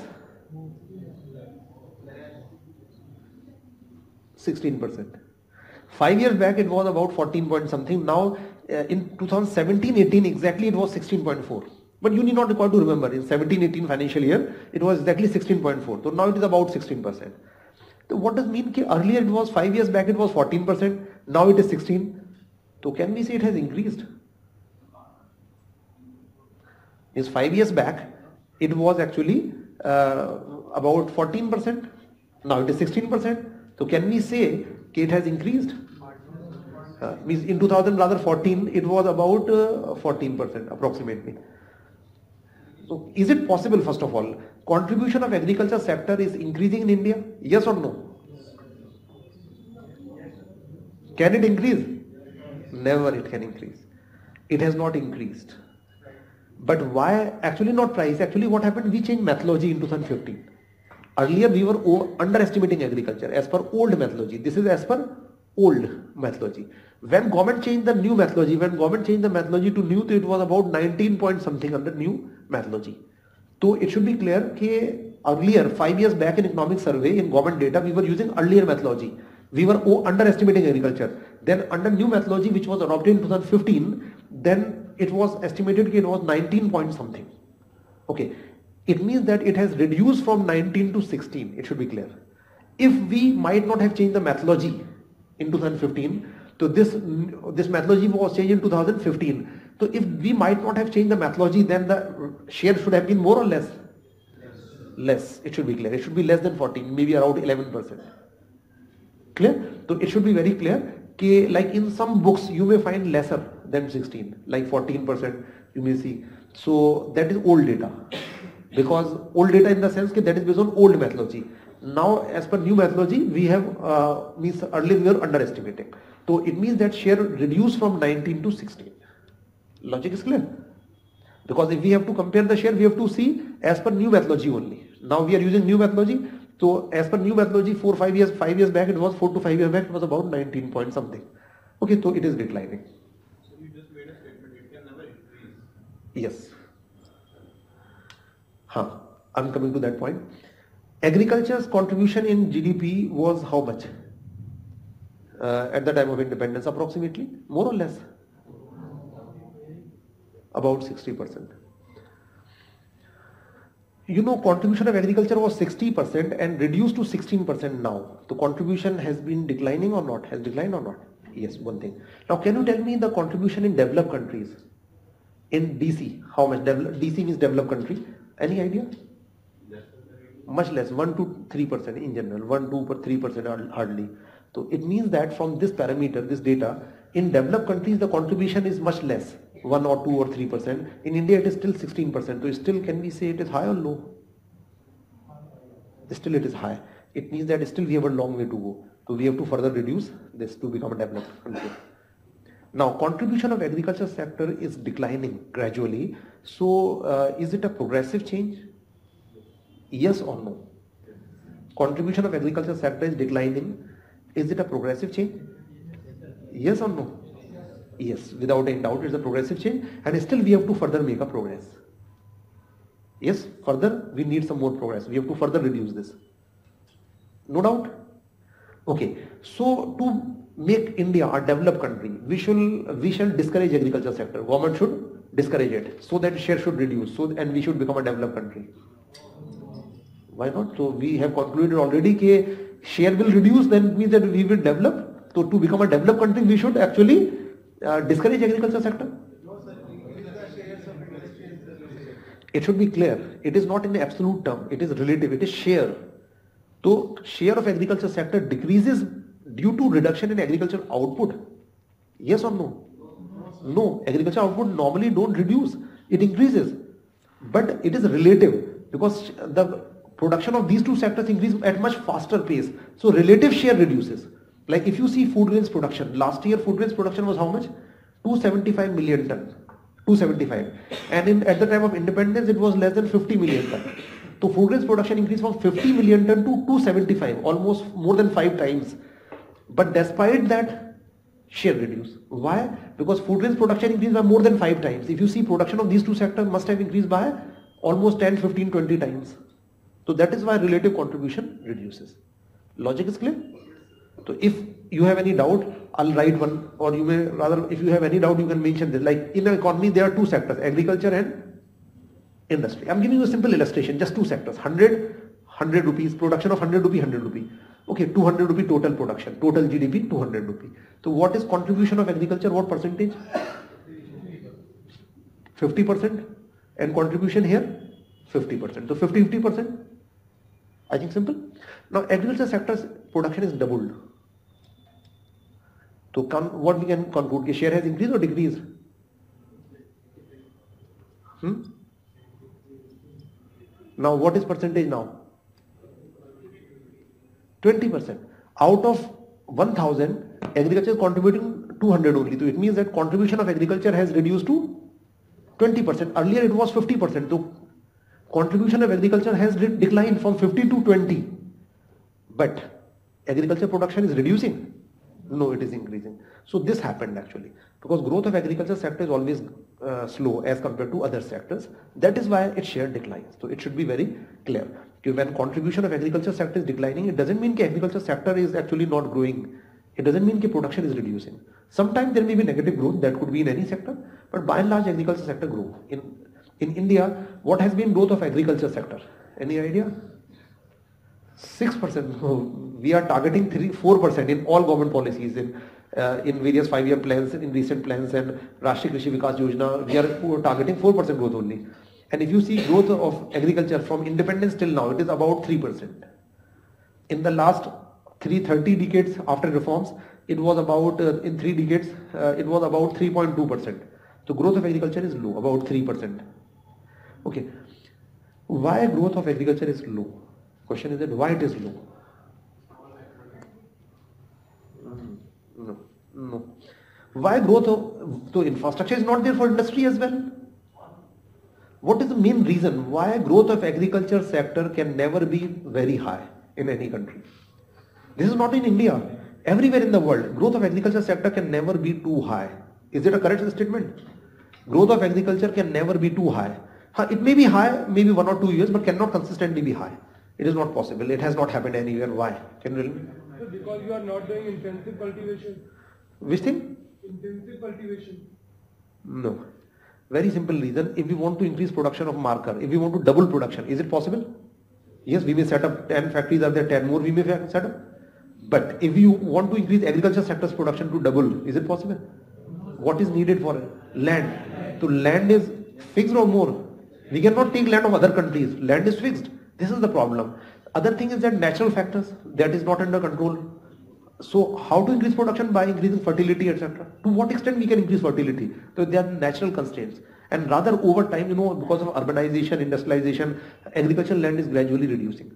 This is another challenge actually. Resource depletion, etc. is putting another challenge.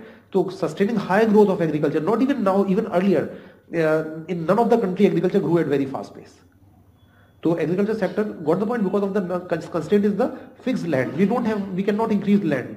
Apart from that, natural factors and lot of other factors are there. And now there is a much more problems like environmental issues and you know uh, resource constraints, resource depletion like water table is going down. So that is creating problem. So that is why agriculture sector, not even now but even earlier, it never grew at very fast pace.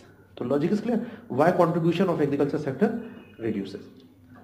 Any doubt in this? So logic should be clear why and what should be clear. Okay, overall, but anyway, agriculture sector's contribution reduced from 60 to 16. Is it a progressive change? Yes, progressive change. Okay, because growth of agriculture is low and overall target of GDP growth is approximately how much we are putting overall in most of the schemes etc. Overall GDP growth like in 12 fire plan and now in general how much target we are putting for overall GDP growth? About almost 8% close to 8% and in agriculture, how much is our target? 4%. So why? Because practically it is not feasible to achieve much more than 4%. Because we are achieving close to 3% only. So this is the reason. So I think it should be clear. So this is contribution of agriculture and what happened with development. I'll explain this. Now contribution of services is how much now? Service sector is contributing to how much? About uh, 50 around fifty six और fifty seven approximately तो approximately fifty six percent fifty six point something okay तो only broad data is sufficient तो fifty six percent तो what should be contribution of industry twenty eight percent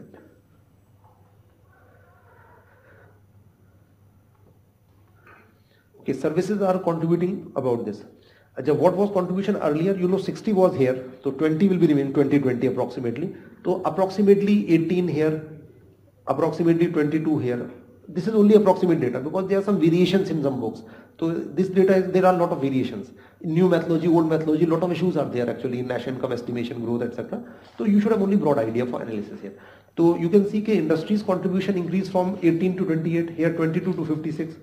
So an agriculture contribution declined. So overall, can we say this happens uh, in every country with development? Yes or no? Yes or no? Yes, why not? Contribution of industry and services increases everywhere in the world and contribution of agriculture decreases with development. So that is happening in India as well. So but overall, as I told you already here, from this data, we can consider India a developed, developing, developed country or developing country or developing country because still it's too high. In developed countries, it's quite low. So still we have a long way to go. So, but anyhow, it is a progressive structural change. Yes.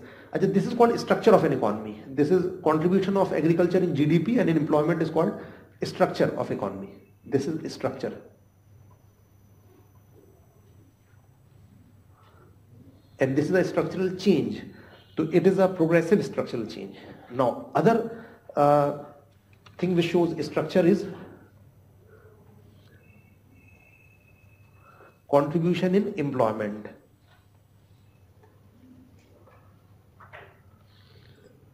Okay, so you should try to write each and everything, whatever I write here, because otherwise it will be difficult for you to understand. Although this is very simple, you may skip, but still I suggest it is better you should write. There should not be any confusion. Okay, uh, contribution in employment. So in employment, what is contribution of agriculture now? At the time of independence and now? approximately. Rather, I will write uh, means uh, this we can say now approximate data. So that's why I'm not writing exact here. So contribution of agriculture is how much? What percentage of labor is engaged in agriculture? 60? Hmm? Huh, now approximately 49%, around 49%. Earlier 75%. Around 75% population engaged in agriculture, labor force. Other is industry and services. So how much labor force is in services? 27% and industry how much 24%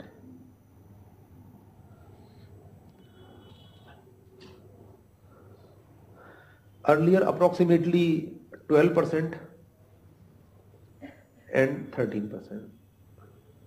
Okay, so this data is not much important. I am giving you approximate data and I repeat here because there are variations in books. So only broad idea is sufficient. So you can see here the same thing trend happened. Agriculture sector's contribution declined in employment and increased here as well as here. In both the sectors almost doubled and here it reduced. So is it a progressive change? yes or no yes so this is a progressive change and uh, but the progressive change is satisfactory yes or no the progressive change is there but is it satisfactory or not no still in developed countries how many people are there around 3 to 5% people are engaged in agriculture so in india it is 49% so is it satisfactory change तो this structure of employment shows कि we are a developed और under developed country does it reflect under development nature yes तो in develop countries about three to five percent population is engage in agriculture in India about fifty percent I think it is clear so this is only approximate data only I have round of this data So that is sufficient. You need not require to remember with precession. Or before exam, I'll give you exact data from economic survey, the latest data, just for exam. So only analysis is important, not exactly cramming of data. In exam directly, they don't ask exact direct data. So only in means also you need some analysis only, increase, decrease, how much, only the broad idea you should have. Okay, so this is progressive change, but is it satisfactory or not? It is not satisfactory. But relatively, can we say it is better or not? Yes. So structural change is better in terms of GDP in India as compared to in terms of employment. So employment structure is still not actually very progressive in India. So still agriculture. It is a failure of which sector? Why this happened? It is a, can we say it is a failure of agriculture sector? Yes or no? It is a failure of industry and service sector to create jobs. This is not the failure of other two sectors because other because people don't have option. They are there in agriculture. If they because jobs are not there in these sectors. So this is the failure of these sectors because they have contributed more to output, but they have not created much uh, to employment. This is the problem. Now what from this data and this data, what you can conclude about service sector? Any inference you can made about service sector from these two data? Any inference you can make?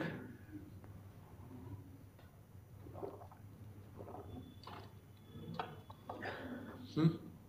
Any inference about service sector? Hmm? Smaller change in structure would lead to uh, um, mm, no. No. Uh, no, not structure. From this data and this data, service sector's contribution in in GDP and in employment, what you can conclude?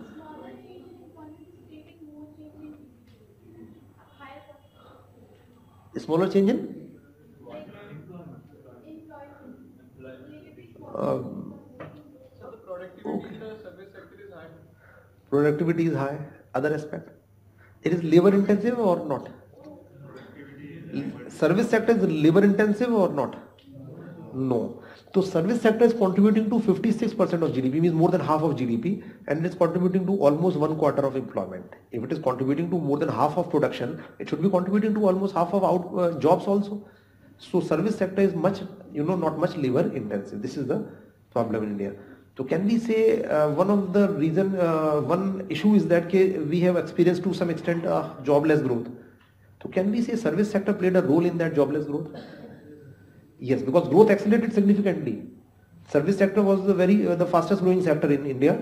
The share is increasing at fast pace, but employment generation have not increased much in this. So this is one reason for jobless growth. We will revisit in employment. So I think clear the service sector is less labor intensive. We can uh, conclude from here because it is contributing more than half and here almost one quarter only in jobs. And what you can conclude about agriculture sector from this 16% in GDP and 49% in employment? it means that labor intensive so obviously hai, apart from that. What about, uh, certainly there should be disguised employment because still half uh, population is there. Another, what about income of agriculture sector? Should be low because 16% income is actually distributed among half of the population. So it means average income must be low. So if people may shift from agriculture to other sectors, then the same income will be distributed among lesser people, so their income will increase. Okay, so we will revisit later this thing. So this is actually structure of economy and although the structural change has undergone some progressive changes, but still uh, it is actually limited progressive change, especially in terms of employment. So this also shows underdeveloped nature of economy or not? Yes. Okay, one uh, other feature, so uh, nine, uh, how many features you define Eight feature. Okay, now other feature is dualistic economy. Indian economy is a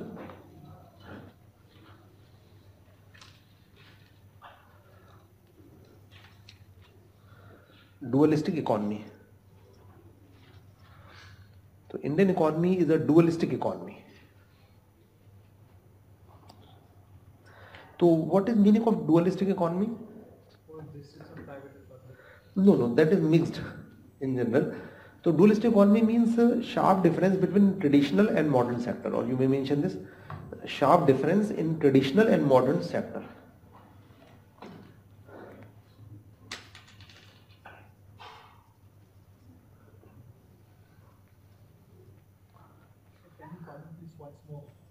a sharp difference between traditional and modern sector. Traditional and modern sector.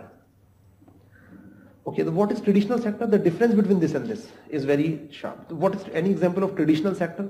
Like agriculture is traditional, uh, small industries, village industries like handicrafts, they are traditional. Like simple tools are used, simple uh, less investment is used, simple techniques of production, traditional goods are produced. And modern sector, where industries large investment, scientific methods of production, usually mass production, like uh, for example automated plants or uh, software sector is modern sector. So modern sector is, is much developed in India, traditional sector is very developed, underdeveloped. So is there significant difference is there or not? In developed countries, traditional sector is so underdeveloped. No, rather handmade goods are very expensive there. In developed countries, handmade goods are very expensive. So in, normally in India, handmade goods are cheaper. Although they are increasing now, but overall they used to be very cheap earlier. So uh, this difference is much more. it is much backward. This is much relatively developed. So this is called dualistic economy. So normally in developed countries, difference is not so drastic. So this is called dualism in the economy. Any doubt in this? Okay. Apart from this, one last feature here is low uh, well-being level is low or high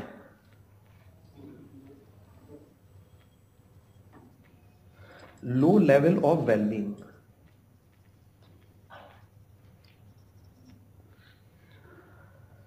Low level of well-being may, may be called quality of life. Quality of life is low. Low quality of life. Okay, what is difference in quality of life and standard of living? Both are same. No, so which is broader? quality of life. It is a qualitative concept. Here it will include which aspects? This is a materialistic concept based on income. How much access to goods and services you have. And this is based on what? Does it include social factors also? Yes, education, health and other uh, basic amenities are included here in this. So level of actually, you know, quality of life is low in India. So level of education, health and other basic services, is it satisfactory in India? No and we measure this overall well-being by which some indices are used. So based on education, health, etc. So the status of education, health is not satisfactory, etc. Now some indices are used. Like which index is used? Like Human Development Index. It is based on health, education, and standard of living. So what is our rank? Rank of Indian Human Development Index. It shows overall well-being of a country 130 now out of 189 countries. So is it satisfactory? 130 rank out of 189 countries. So satisfactory or not? So it is quite low.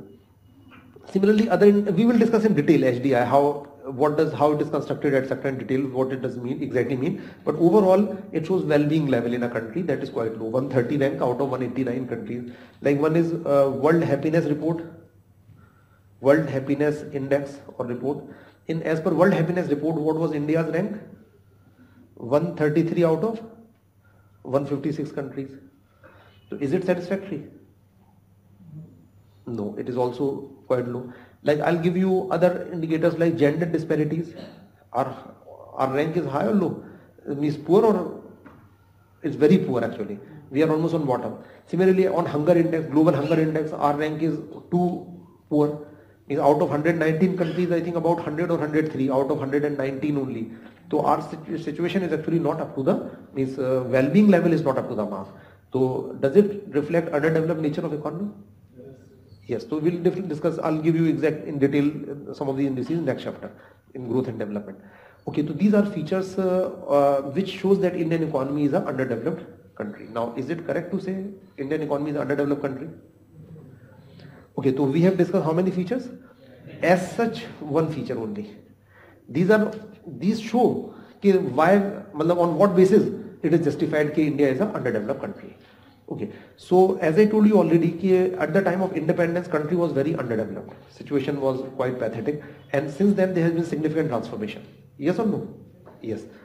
But if you see now, India is having uh, all features, most or some features of underdeveloped country.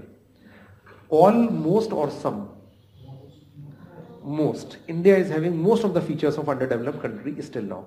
Although intensity of those features have reduced, and uh, but still most of the features are still there of underdevelopment. So logic is clear. And as I told you, I repeat again, underdeveloped or developing means same. Okay, one feature is this. Okay, other feature is that ke Indian economy is what type of economic system we have in India. Hmm. What type of economic system we have? We have mixed economy. तो other feature is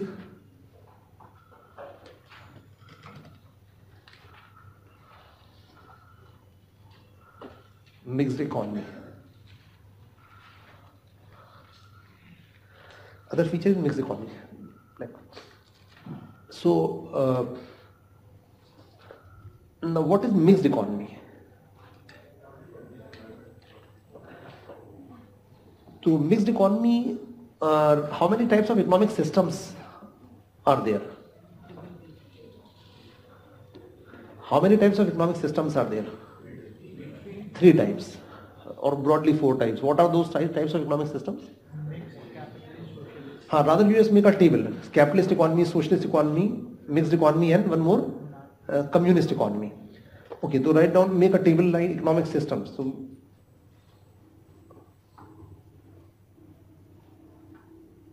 economic systems. So you know overall economic systems are of four types.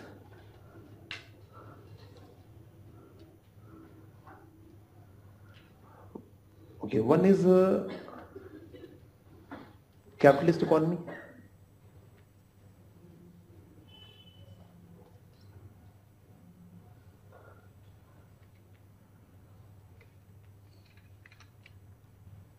capitalist economy Exactly opposite of this is socialist economy. Then next is mixed economy. And finally one more communist.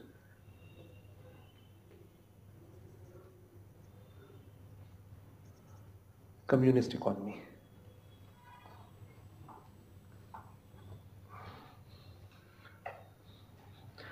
Okay, now we will discuss few main features of this. So in uh, socialist uh, capitalist economy, which sector is prominent? Private sector. So public sector is there or not? Government companies are there or not? Yes or no? Yes, it should be clear both sectors are there, but private uh, sector is predominant. So mention rather this thing. So private sector is predominant.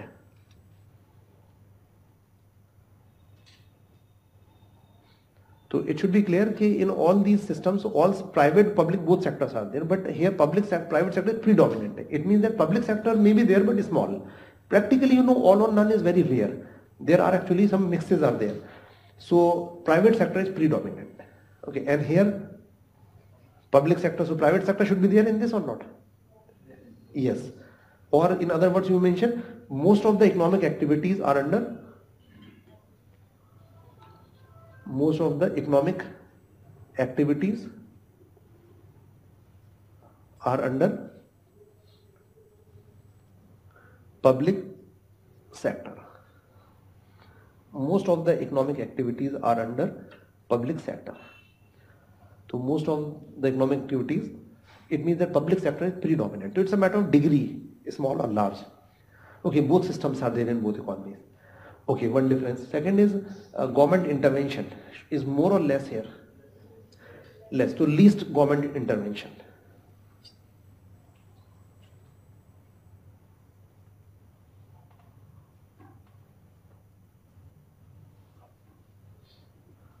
Least government intervention in French, there's a one, one word which is commonly used where government intervention is almost almost negligible, laissez-faire. So this kind of policy may be called laissez-faire. L-A-I-S-S-E-Z-F-A-I-R-E,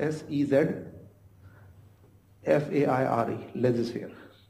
Means policy of non-intervention. Government allows uh, economic units to take their decisions. No license, no permit, no permission needed. To least government intervention means laissez-faire here government intervention is more or less more to means here government regulates economic activities or uh, we can say rigid government regulation rigid government regulation for most of the things government permission is needed licenses or quotas are needed so government regulation is much more here okay here uh, you know what is core concern of economy i told you already core concern of economy no profit is not the concern economy profit is objective of one firm not economy no optimal allocation of resources okay whatever resources we have how we shall use them optimally optimally means to enhance well-being of people so resource allocation is the core concern of economy it may be called central problem of an economy every economy has to take a decision okay, how we shall use our resources so resource allocation is done by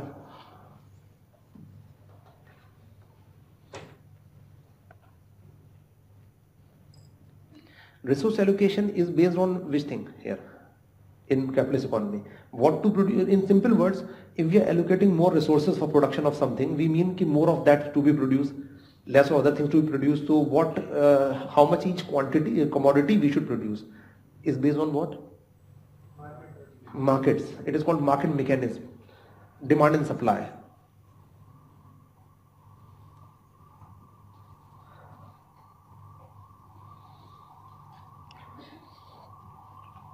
market mechanism. So market mechanism means demand and supply. Okay, I'll, we will discuss in detail. Normally, you know what happens, ke if there's demand of something, people like more of something, they will be buying more and more. So what will happen to that price? In, on the basis of common sense. Price will increase because if more and more buyers are there, when price will increase, firm profit will increase or decrease in producing that thing. Increase. So they will produce more or less. Will produce more. So whatever people like, they buy and when they buy demand is created price increases and profit of firms increases so they increase more so it means that as per likings of people choice of people production will be there the sources we use as per wishes of people so we will discuss in detail with the help of demand and supply curves in chapter 3 we will discuss this exactly in detail what exactly i'll give you the rationale of economic reforms with the help of demand and supply curves how exactly markets work but here i have just told you in simple words okay based on demand and supply market means demand and supply demand means whatever people buy demand more of that will be produced. So resources will be used as per wishes of people. So if resources will be used as per wishes of people, well-being will increase or not? Yes. So this resource allocation is based on market mechanism, demand and supply mainly. Okay, and here resource allocation is based on what? Hmm? Who decides what to produce? Government. Or government we may call it economic planning. So there is usually an economic planning authority. Economic planning So resources are allocated uh, by economic planning or we can say government. In simple word, we can say government. What to produce and what quantity various schemes, policies are there to incentivize production of something, discourage production of something. So that is meant for resource allocation only. Whatever schemes, policy uh, that is meant for uh, resource allocation. Like for example, if government is giving subsidy to agriculture sector, like on inputs, why? The government want to allocate more resources or less resources? More resources. So because it is essential thing. If government would not give incentive, then production may be short and people, uh, poor people may not be able to afford agricultural commodities. Okay, so here government decides actually resource allocation and guiding principle of government is obviously social welfare. Now, as per the needs of the country, we should use our resources so that well-being should increase. We should not produce wasteful things like uh, why government intervene like otherwise uh, the demand may be there may be some problems in market like demand is done made by those people who have money to pay so people may be buying luxury items rich people so whatever resources are there that those may be used to produce luxury items for rich people and other people may not get even essential things. So this may happen. So government should intervene in this manner. So benefit is that government actually uh, can assess ki what are important things, what are priorities for our nation, what kind of goods should be produced. Accordingly, license will be given to that, permission will be given to that, and those sectors which are important should be given encouragement. Okay, I think clear. So here market and here economic planning. Another is uh, one minor point we can say motive of production.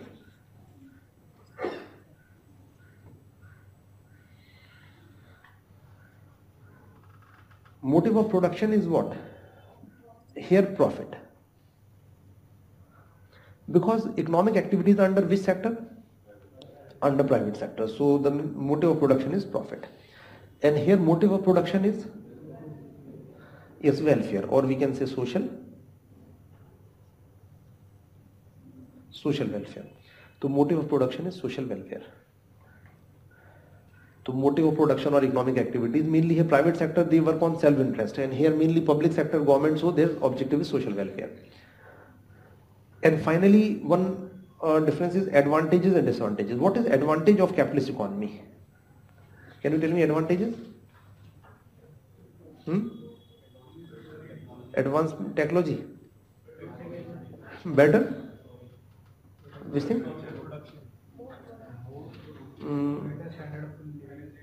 higher GDP. Why? No, not necessarily employment. Here, efficiency should be high. High efficiency. So advantage is that कि high efficiency. So efficiency is high. Productivity is high. High efficiency means what? कि with given inputs we can produce more, maximize output. So efficiency is high. So why efficiency is high? Any reason for this? Because firms actually they uh, what is objective profit? If they will innovate, they will reduce cost. Then their profit will increase. They will amass wealth. They will gain. Achha, here efficiency is usually low. Why?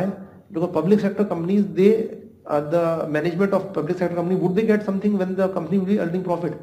no their salaries are fixed Pro- company may be earning loss or profit it hardly matters for them so that is why they don't have personal incentive personal initiative is not there so here people are much motivated they work hard and over time also to uh, earn more and more money so that they can become wealthy uh, so this is one reason other reason is that competition should be more or less here more because if production of something is profitable then more and more firm will be established to produce and competition will increase so how company charge high price uh, high, means higher profit by charging higher price so if other competitors will come, they will charge some slightly less price.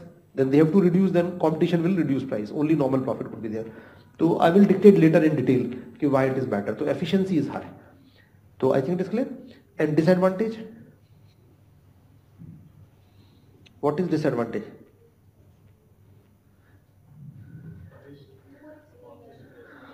Uh, exploitation of labor could be there or we can say social injustice. Social injustice.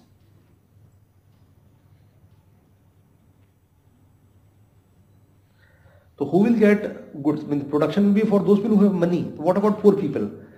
Poor people may not get even food. So poverty may further increase.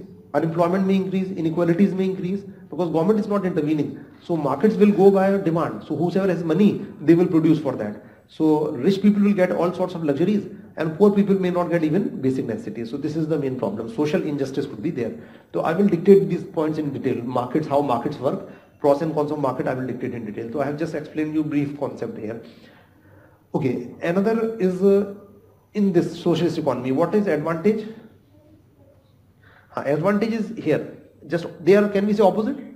Here social we can say justice. Like unemployment, poverty, inequalities will be less. Huh, equitable distribution that comes under social justice means social justice means poverty, unemployment, inequalities will be less exploitation should scope will not be there social justice and disadvantage is just opposite means low efficiency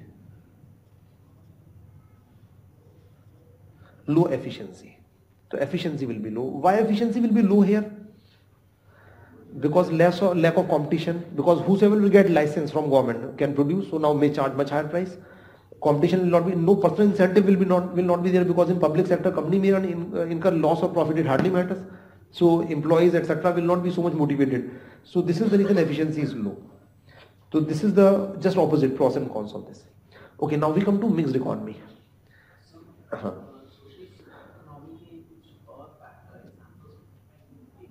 I'm coming to example just after this I'm coming to example Socialist like any example Cuba, uh, Russia, USR earlier, China earlier also, Venezuela, some East European countries, Azerbaijan, uh, Georgia, Armenia, some East European countries. Okay, now mixed economy. Employment, uh, it is practically difficult to say, but it is expected to be higher here. It is expected to be higher here as compared to this one especially in early stages of development. Okay, so mixed economy. Uh, here features of, can we say both? Yes, to mention these features of both.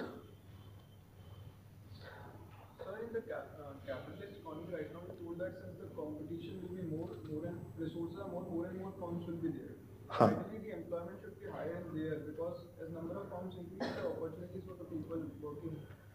no, there are a lot of other problems. We will discuss in detail. Uh, it will take some time because actually we have to analyze. So it usually in later stages employment may be high, but in initial stages you know from when they will invest, they will think of employment or they will think of profit. Profit. So they will and here government will plan investment in those industries which will create more jobs. Because objective focus on social aspect. Government will give license in labor intensive activities in this. So in later stage this may happen. But in general employment is expected to be higher here. Social justice is expected to be higher here. But what practically happened, I'm coming to that. I'm just giving you basics ABC. Then I'll just see what has been the trend. So features of both means usually it is written कि private sector plus public sector. But but it should be clear. I am repeating again here. Okay, in all three can we say private public is there? Yes, but the difference is private and public both are significant. Both are significant. Okay, here public sector is main and private sector insignificant. Here public sector insignificant, but private public sectors are there in all. So this may create confusion that private plus public sector. It uh, should be clear all these sectors are there. Both sectors are there in this as well as this. Okay, other is government policy should be here very uh, means least intervention, here much more intervention, here moderate. So moderate and selective. Government intervention is uh, moderate and selective. Moderate and selective.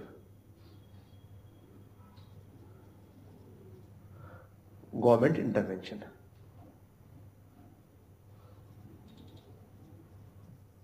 Moderate and selective government intervention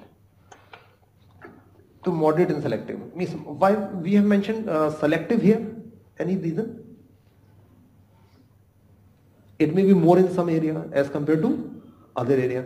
So it may be more in some area as compared to other area. So it is usually selective in nature.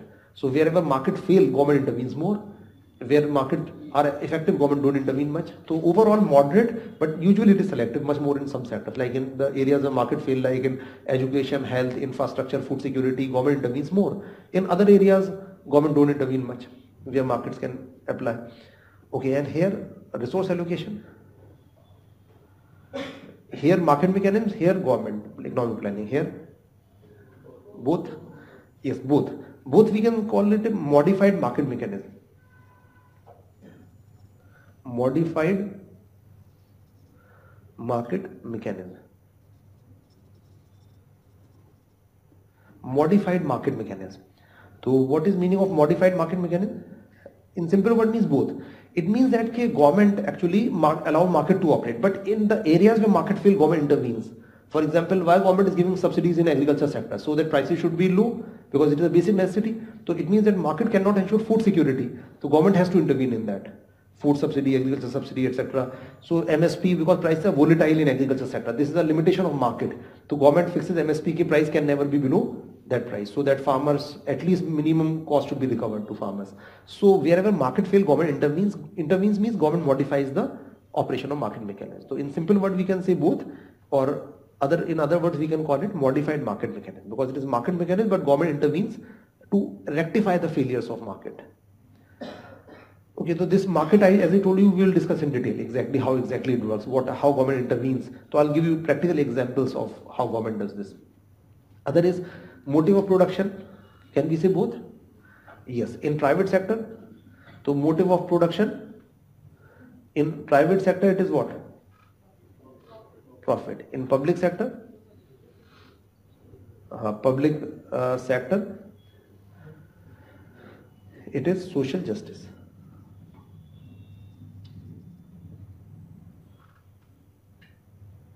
Social welfare sorry social welfare social welfare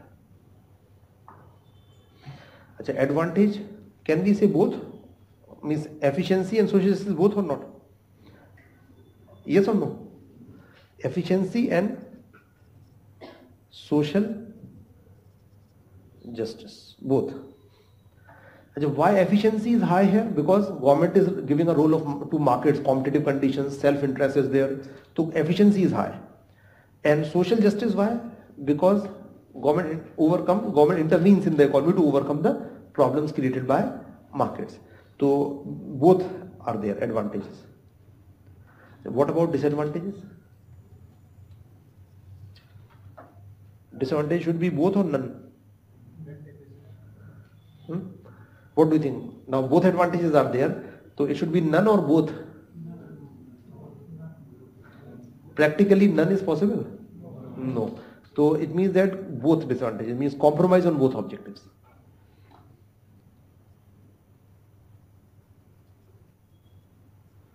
Compromise on both objectives. Means in order to achieve efficiency, you know social justice will be compromised. In order to achieve social justice, efficiency will be compromised. So both actually means compromise on both the objectives. Okay, so if government want to achieve this, like earlier in India, we have a tilt towards socialism. So we wanted to have efficient social justice. Efficiency was low in pre-reform era. In post-reform era, when government adopted LPG policy, we give larger role to markets. Growth increased. But what happened? Efficiency increased, but social justice was somewhat compromised. To some extent, lead to jobless growth. Inequalities are still increasing. So, uh, if government want to achieve this objective, this may be compromised. If government want to achieve this objective, this may be compromised. This is a the problem. To compromise on both the objectives. Okay, and finally, communist economy. So communist economy, uh, what is it is close to which one? Close to socialist. So what is difference in communist or socialist? Huh. Yes, it is actually extreme form of socialist economy. So you just mentioned it is extreme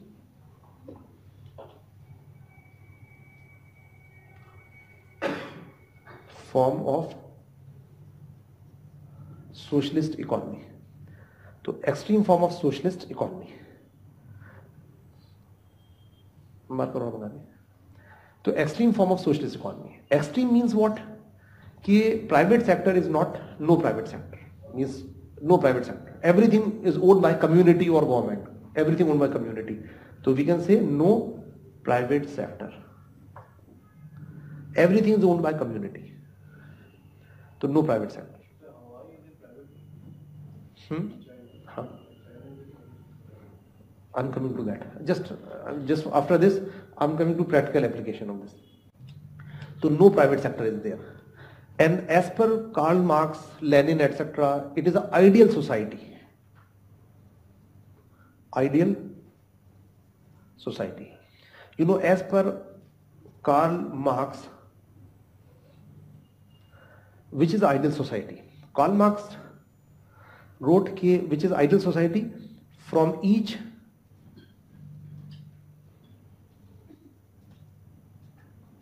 according to ability, from each according to ability, to each according to need, from each according to ability, to each according to need. What does it mean? as per Karl Marx, ideal society should be like that everybody should contribute as per his or her abilities to economic activities, to production and you should take back as per your need. As per need means like you are single person, so you need a single room flat. If a person is having big family, will need a big flat. So means everybody should actually contribute as per their capacities and uh, should take back as per the need. So this is the ideal society. And uh, would there be inequalities in the society? No. So it's a perfectly classless society classless society.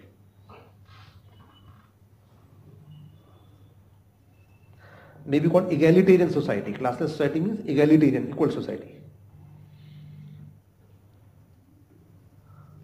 Egalitarian society. Egalitarian society means equal uh, society, no scope of exploitation, or ideal con- uh, country. So classless, no scope of exploitation. So this is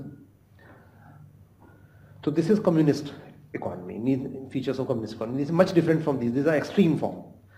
Okay, now out of these four, now we come to analysis. This is the basics, ABC of these systems. Okay, best society means no private sector, everything owned by community or government and uh, everybody should contribute as per ability and we'll get that then. Everybody equal.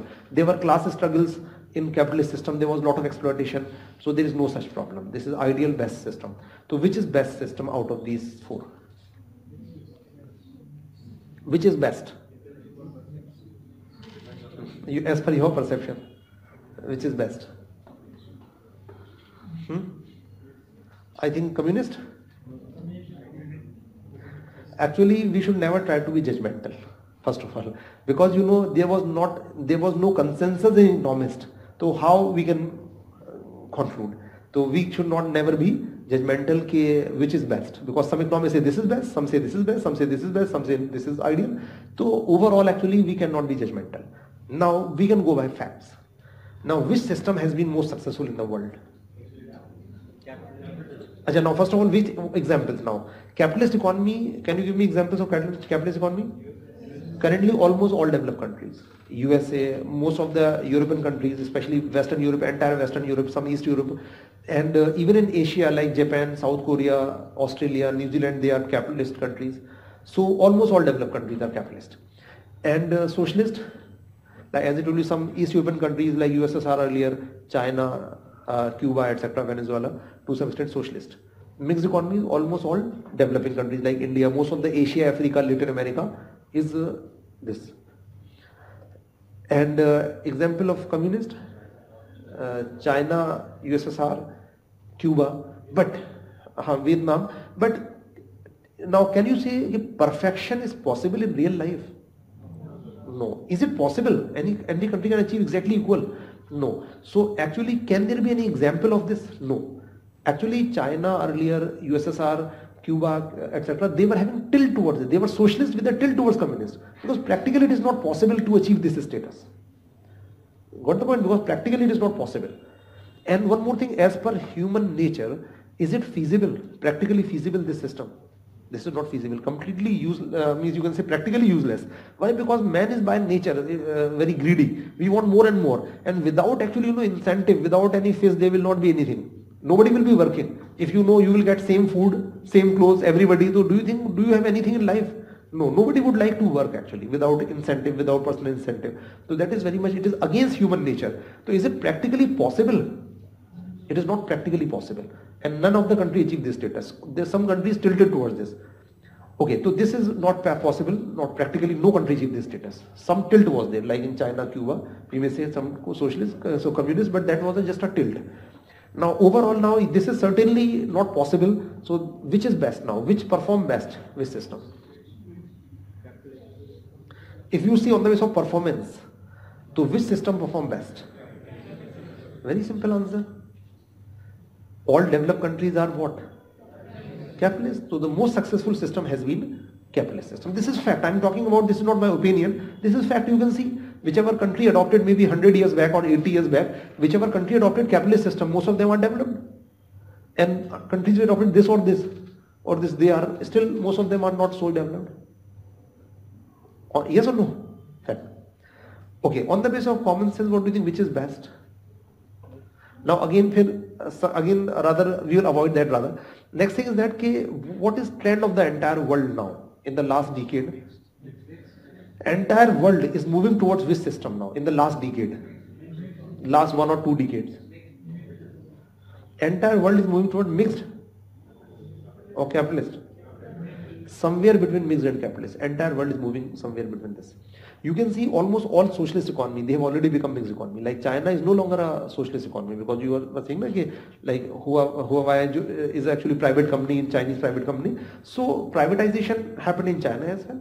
Liberalization, privatization, globalization, lot of FDI is there in China. So uh, China has already become a mixed economy. And similarly, most of the countries which were actually communist, they are gradually moving towards mixed economy. They have already become mixed economy.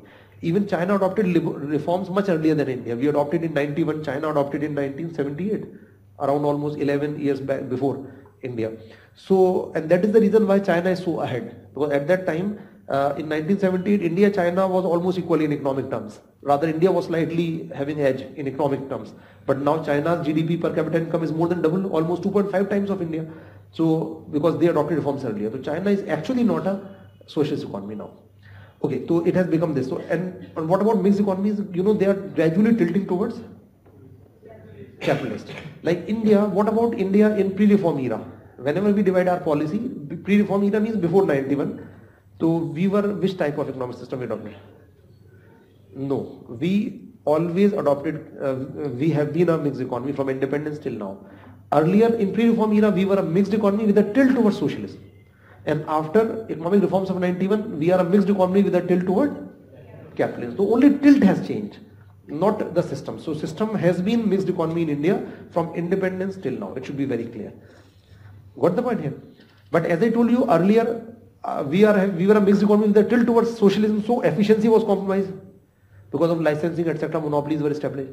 And after economic reforms of 91, when we tilted towards capitalism, then efficiency increased productivity production increase, but uh, social justice somewhat compromised jobless growth inequality is still increasing so there is this issue so india earlier was a mixed economy with a tilt towards socialism now with a tilt towards capitalism if you see the entire world like most of the developing countries like mixed economies they have already tilting towards capitalist economies like india and has it been beneficial for us like the forms tilt towards this yes certainly a lot of benefits and what about capitalist economies Capitalist economies, uh, they are actually, you know, they are gradually tilting towards what?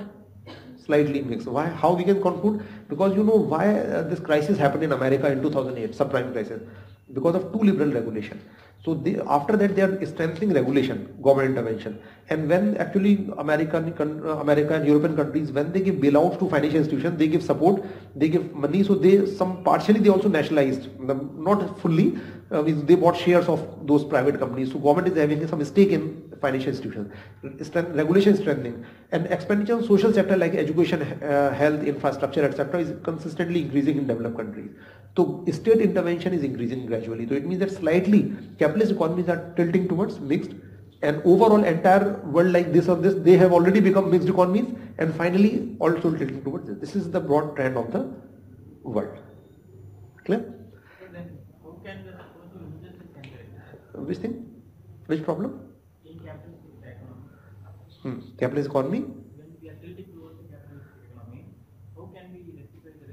no, no, we are gradually somewhat tilting. We are a mixed economy, but slight tilt toward capitalist. They are capitalist, but slight tilt towards. It's a gradient. Like this is capitalist, this is mixed. So we are somewhere here. Developed countries somewhere here. Gradually moving towards this. We are gradually moving towards this. This is the broad trend in the last 10, 20 years of the world. Now next final. Uh -huh.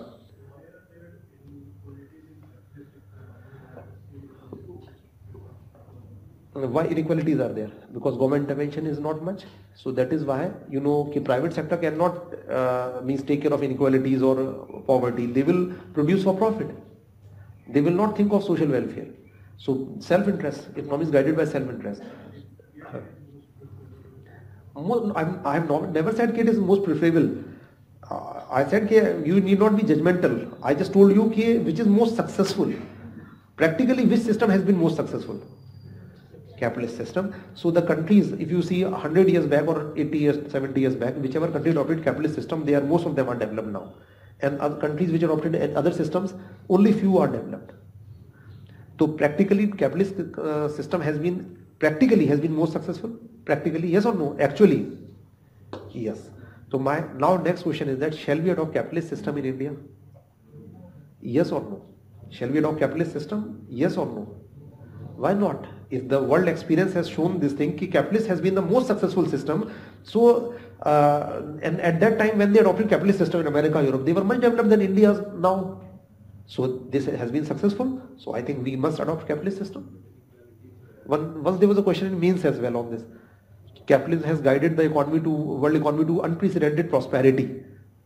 So although it has some limitations, so shall we adopt capitalist system in India? Yes or no?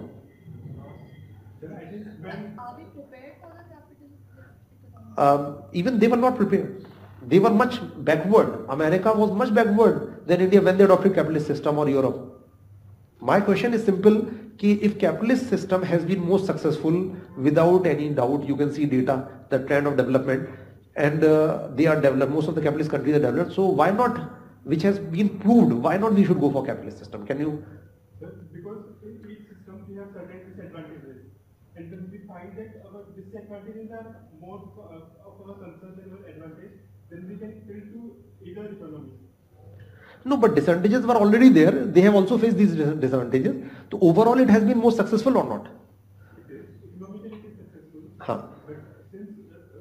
but their level of well-being is higher ultimate objective is not to increase production ultimate objective is to enhance well-being of people so well-being of people is much higher in capitalist countries now you can see today well-being is much higher in capitalist countries as compared to the developing countries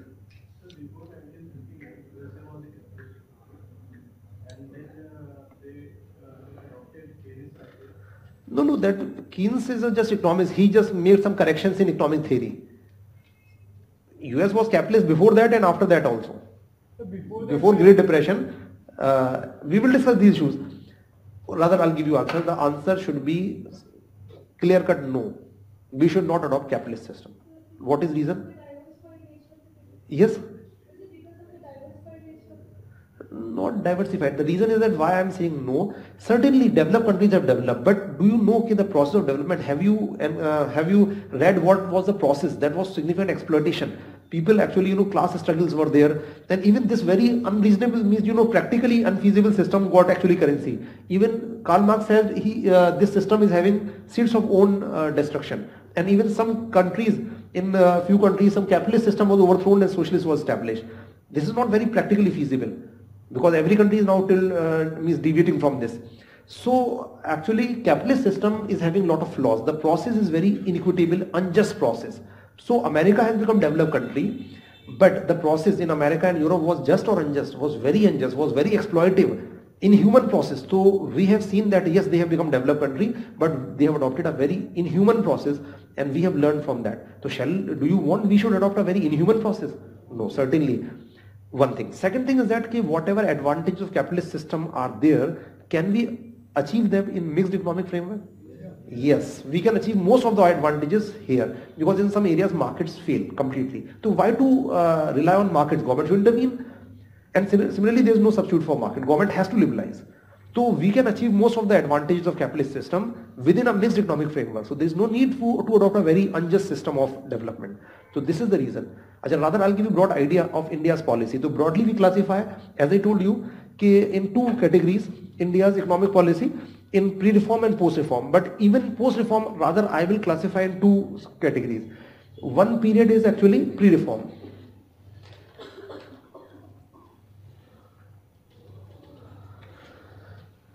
Means we can say from 1947 uh, till 1991.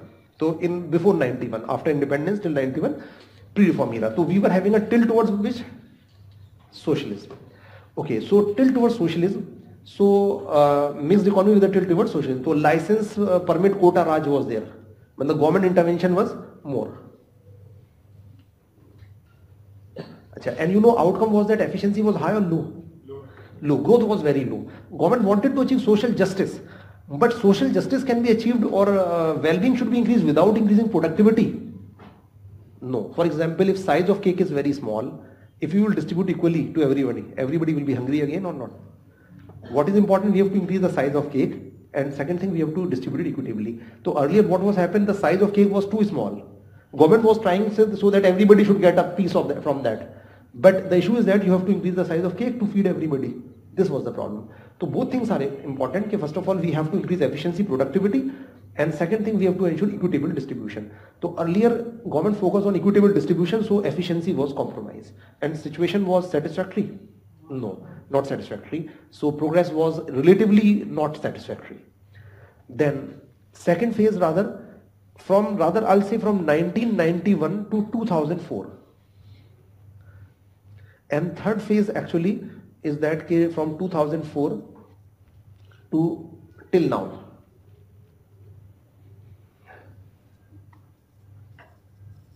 Till date. Okay, so here you know what government did here. Government adopted LPG policy, liberalization, privatization, globalization. So after this LPG policy, you know, we give larger role to markets. Now, whatever you want, you can produce. No need to take permission. So efficiency improved or not? Efficiency improved. When we tilted towards capitalist system, so started tilting, efficiency improved. But what happened to social justice? Decrease. Employment growth declined substantially in 90s, jobless growth was there, inequalities increased, so social justice was compromised. I think what's the point? So social justice compromise. Social justice in the sense कि I will give you data कि employment growth uh, in 90s actually in this period was almost half rather less than half as compared to in 80s after reforms. Employment generation reduced. Poverty reduced but at very slow pace inequalities consistently increase at a very fast pace, it's still increasing. So social justice was compromised or not? So in this phase actually, when government adopted LPG, so what happened? Ke improved, productivity growth rate accelerated, but social justice was compromised. So ultimately well-being could be there by this. Now size of cake started increasing, but that cake was distributed only to few people. Still majority were hungry, majority people were hungry. What the point? Earlier, size of cake was very small. Here, size of cake was small. Here, size of cake started enlarging, but only few people have access to this cake. Still, majority of people were hungry.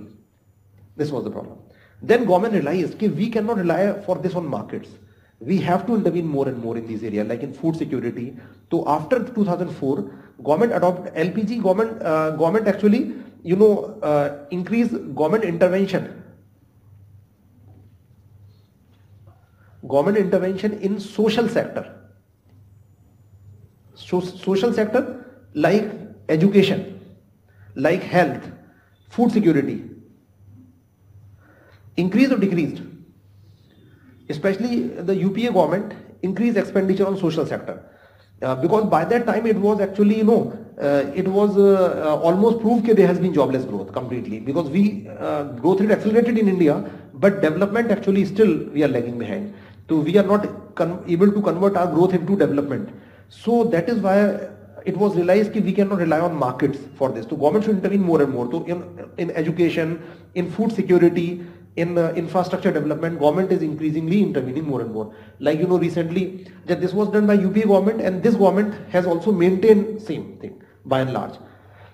So government is now intervening now expenditure on education increased. like education cess was imposed on health sector also education like national food security act was passed for food security so apart from that in infrastructure etc government intervention increased so can we say what happened to liberalization increase or decreased here increase or decrease here in this phase LPG increase decrease what I have to say like earlier we adopted this here we reverse this or further increase this further increase this it should be clear government intervention increase, but how it could be true? If we are saying government intervention increase, so liberalization should have reversed. But government intervention increase only in selected sectors. Overall, there is liberalization, further we are liberalizing. Now, you know, if you see after 2004, then the pace of job creation somewhat increased. Pace of, uh, you know, poverty elevation increased very sharply poverty is reducing at very sharp. I'll give you some this data trend uh, in this phase and this phase. So situation started improving. Still it is not satisfactory. It is not satisfactory but situation started improving. Growth further accelerated. So growth further accelerated as because of further LPG. It means that now we are achieving almost all object advantages of capitalist system because of this yes and we are rectifying the problems created by capitalist system by intervening like National Food Security Act, active intervention in agriculture sector, in education, health, infrastructure, etc. So is it desirable? Now which policy do you think is most desirable? First, second, third. Third is most desirable. Now it means that okay, now we are actually just like capitalist system grew at fast pace. Now we are also one of the fastest growing economy. So we are driving most of the advantages. We have enabled market to operate. But in selected sectors are there. Only few sectors where market fail. तो we are now intervening to overcome the limitation of market तो this is the broad policy तो overall तो I think logic is clear why this is best ये sir no even this new government there were chances कि government may reduce may eliminate MNREGA may reduce rural development expenditure etcetera but that डिट happen because it benefited country तो the new government continued with the same policies agriculture rural development food security etcetera uh, employment generation like Manrega, government is focusing on that even now. So by and large, because this uh, policy was best in India, we see like economic policy like earlier as compared to these two phases, this was best. Now the question is that ke, do we need to adopt capitalist system? No. Why? Because we, we can achieve these advantages here itself. And why to compromise on social justice? Why to uh, let the process uh, irrational or you know unjust? So this is the broad policy. we adopted. So system, I think, what the point? What kind of economic system we had from independence till now? Any doubt? Okay, so apart from that, other feature, so one, how many features we have discussed? Two features brought. One is underdeveloped economy. Second feature we have dis discussed the mixed economy. We are a mixed economy and the type of economy I told you the type of policies adopted and some outcomes. Now most of these things are all substantiated with this data. When we will discuss poverty, unemployment, inequalities in this, this chapter itself, I will give you data to justify this thing. This is just inference on the basis of that data. Apart from that, logic of this capitalist, etc. In chapter 3 rather I'll give you much details about this, how markets work, how it is better. I will dictate in detail the pros and cons of capitalist and socialist in detail. हम basically when we see capitalist system तो markets operate तो whatever is advantages and disadvantage of markets market mechanism that is same as capitalist or not yes तो I will discuss in detail in chapter three this okay now third feature is actually is economic or we can say market oriented economy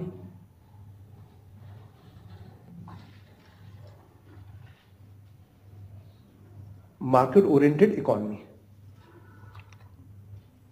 Now, what is meaning of market-oriented economy?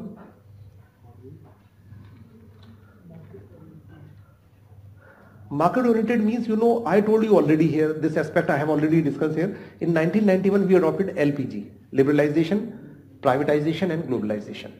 Liberalization means what? Liberalization means reducing government intervention in economy allowing economic units to take their decisions. Without license, whatever you want, you can produce. No need to take permission, per permit or quota is not there. This is liberalization, liberal policy. Privatization means? Privatization means increasing the role and scope of private sector, role and scope, new areas to be opened, private sector to be promoted. And globalization means foreign, means restrictions with rest of the world, the transactions with rest of the world, to be liberalized like uh, import, exports, investment, remittances, tourism, etc. to be restrictions to be eliminated. So when we will remove restrictions on import, export, trade, etc., then our economy will be integrated with the world economy, that is globalization. It will promote further competition, technology transfer, etc. So that will improve efficiency. People will get variety of goods, choice will increase, competition will increase, certainly people will benefit. Okay, I think it is clear.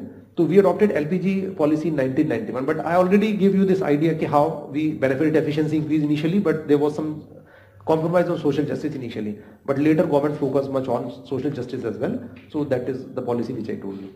So India is regarded as a one um, emerging market economy. So it is called emerging market economy. Emerging means fast growing and market economy. Such a market will operate when government will intervene or not intervene.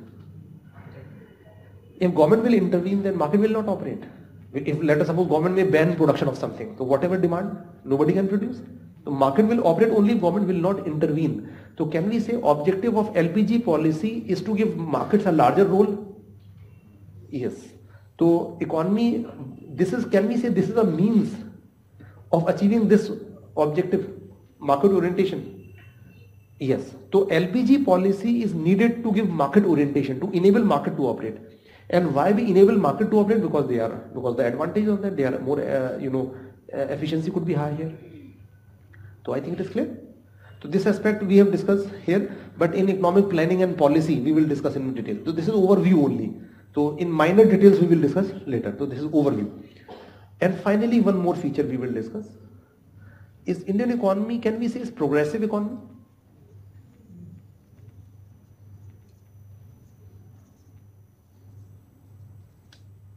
तो is it progressive economy yes or no okay on what basis we can say we are a progressive economy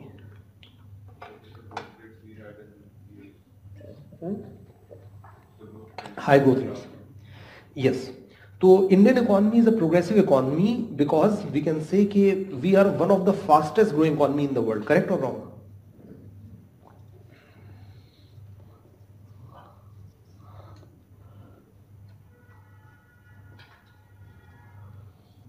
one of the fastest growing economy. Among major economies, India has been second fastest growing economy in the last two decades. In, and rather currently, growth in China somewhat declined, so now we are fastest among major economies. So one of the fastest growing economy in the world. What was growth rate of India?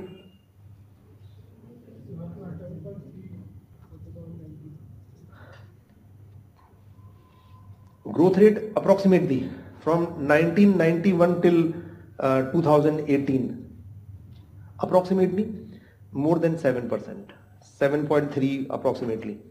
Okay, more than 7%. You know what is world average growth? Around 3.3%. So Indian economy is growing at more than 7%, around 7.3. And world economy grew at about in the last almost three decades at about 3.3% on an average.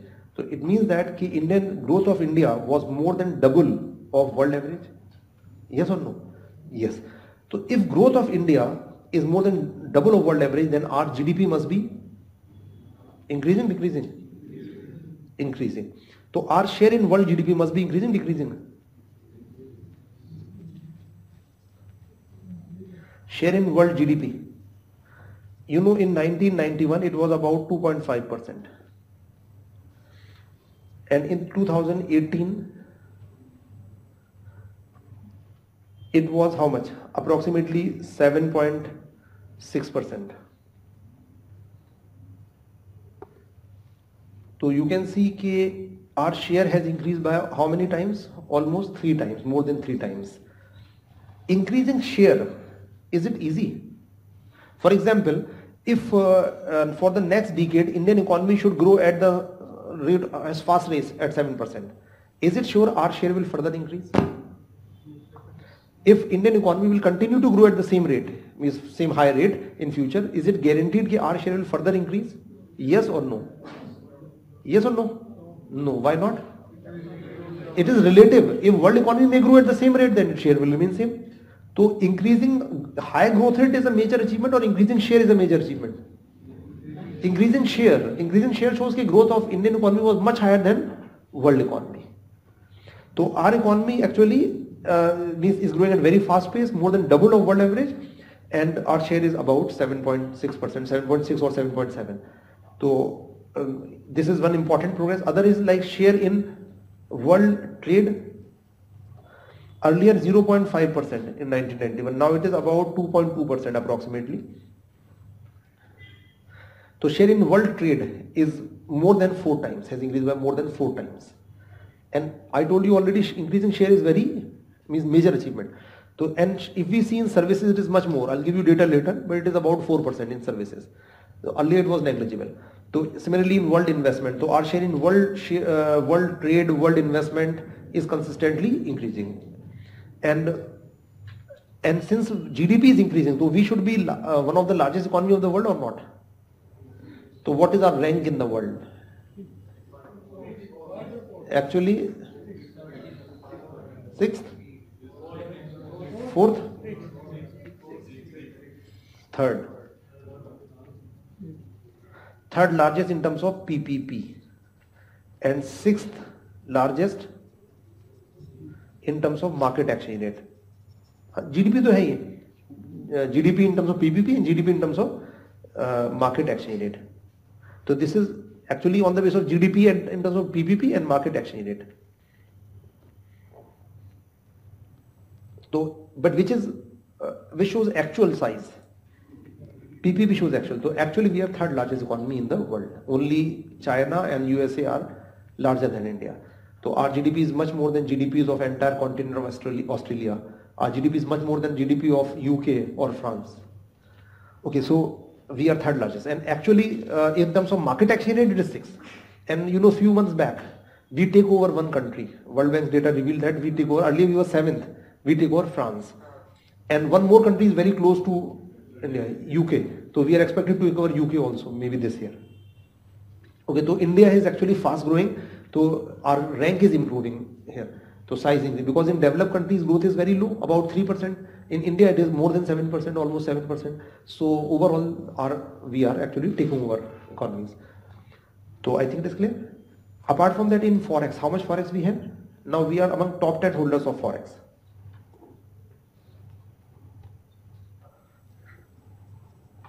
top 10 holders of forex forex means forex reserves तो foreign exchange reserves actually are quite high मतलब top ten in the world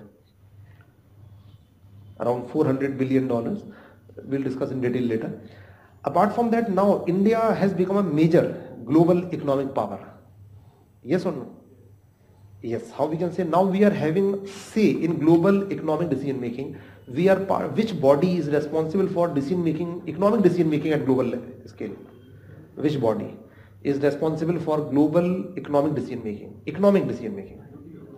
Not WTO, not IMF. A very small group, not World Bank.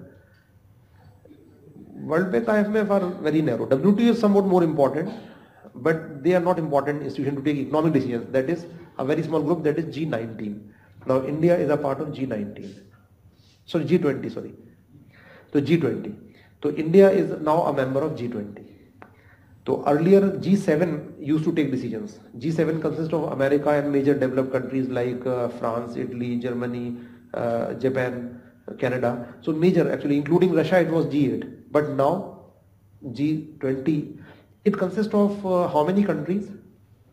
19 countries and one organization that is European Union EU. EU and 19 countries. Out of 19 countries of the world which are 19 countries major developed countries like America, Australia, Canada, uh, and some European countries, and uh, uh, some major developing countries like India, China, Brazil, Argentina, Turkey, uh, etc. So what the point here? So some developing countries and major major developing countries, mean the emerging market economies and developed countries, part of this. So now we are a part of global economic decision making.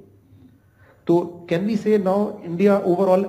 And one more thing, you know, in IMF and World Bank, so every country has equal say No. In IMF and World Bank, so our votes are increasing or decreasing? You know which country is having highest votes of US in IMF as well as in World Bank? Why? Because in IMF vote depend on quota, in World Bank share capital. Quota of which country is highest in IMF and uh, in IMF? USA. Why? because quota depends on share in world GDP, share, share in world trade, uh, share in world forex. These criteria are there. So on that basis, America was the largest economy of the world. So certainly it was having the highest quota, about uh, around 17%, 16 to 17%. Now India's share is increasing in world GDP, world trade, world forex. So our voting rights should be increasing. Our quota and voting rights must be increasing or not? Yes. So our voting rights are increasing. So in 2016, IMF quota reform was introduced, so our shares, um, the voting rights increase, quota increase. So still we are demanding further increase in our quota. So our votes are about 2.8 or 9 percent approximately in World Bank and IMF. Still it is less as compared to size of our economy. But anyway, our say in global economic decision making is increasing or not? In this international bodies, our share is increasing, our say is increasing. So India is one major global economic power. So I think it is clear. Okay, so these are important features of Indian economy but here you can see there's a kind of contradiction is there is any kind of have you observed whatever we have discussed uh, have you observed any contradiction now i have uh, presented a very rosy picture we are one of the fastest growing uh, and largest economy fastest growing economy most progressive economy and we are beating the almost entire world we have a major say we are a major global economic power but earlier when i begin this chapter I said we are an underdeveloped country. Almost all features are there. Very poor country. So earlier I have uh, depicted a very bleak picture. So is there any contradiction between these two? Yes or no? Because on the one hand we are saying we are most underdeveloped etc. And here we are saying we are fastest and the uh, most fastest and most progressive economy. So is there any contradiction between the two? Yes or no? Contradiction is there or not? Yes or no? If yes, so what is wrong? First one or this one? So if, if there is contradict if there is any contradiction between the two, so earlier was wrong or this is wrong? It is not that my view, it is data. Simply it is the trader trend you can go through in any book. These are the features. So this is not actually kind of uh, uh a judgment or judgment, uh, this is a kind of facts. These are the data. You can see, so both are fact. There is nothing is wrong. So there is no contradiction between the two. It should be clear there is no contradiction. Why can you resolve this thing? Why there is no contradiction? On the one hand, I created very bleak picture, and here most progressive economy, and still there is no contradiction between the two. Can you tell me the reason?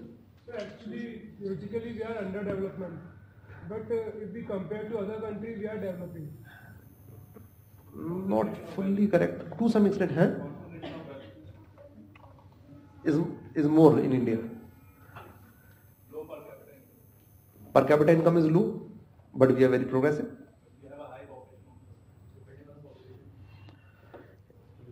actually the answer anybody can try कि in this के this kind of question में भी आज Indian economy represents a paradox of under develop country on one hand and fastest and one of the largest and fastest grow economy on the other hand comment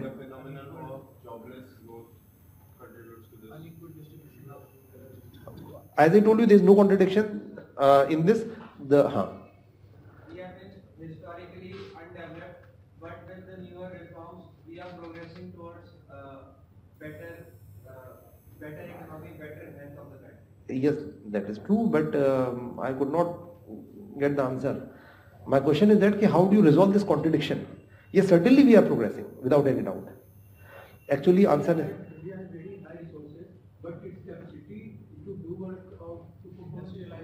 No. Actually, it should be clear that three things are different things. First of all, size of economy is entirely different. So, just I'll give you a simple illustration. Size is different thing. Size of economy and level of development, both are same or different things. Size of economy, like in case of India, and third thing is that progress, progress rate or growth rate, all three are different. For example, in India, the size is small or large. Size is large or we can call it huge. So size of economy is huge and level of development is high or low? Low. Like in case of USA, size of economy is small or huge?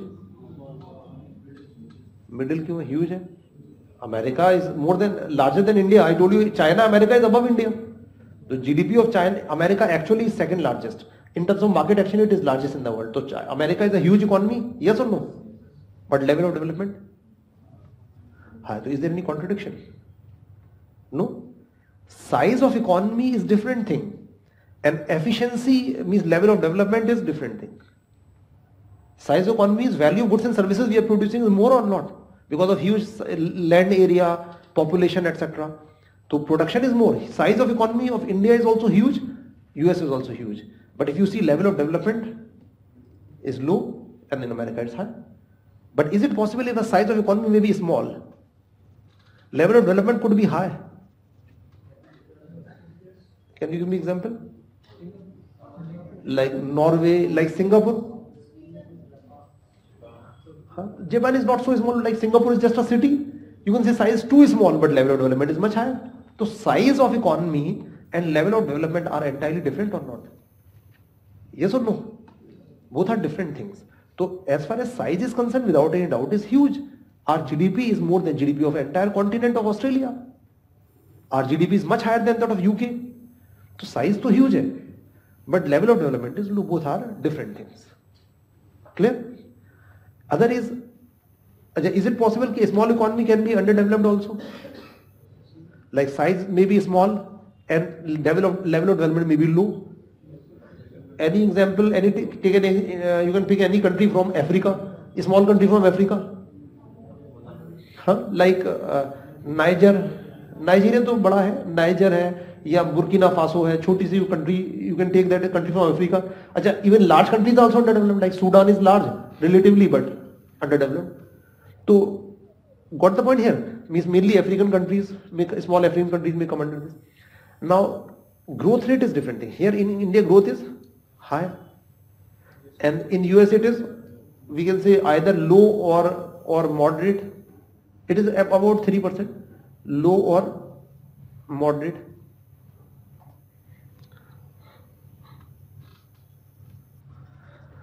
Now you can see develop in case of Singapore, growth is high or low? Growth is high. Now is it possible that size of the economy should be small, level of development should be high and growth should be low? Is it possible that country should be small just like Singapore, level of development should be high and growth in Singapore is high? But is it possible growth could be low in a developed country like small any European country? In like uh, uh, like in any European country you can take, relatively small European country, level of development is high, but growth is usually low. In developed countries, growth is usually low. I think it is clear.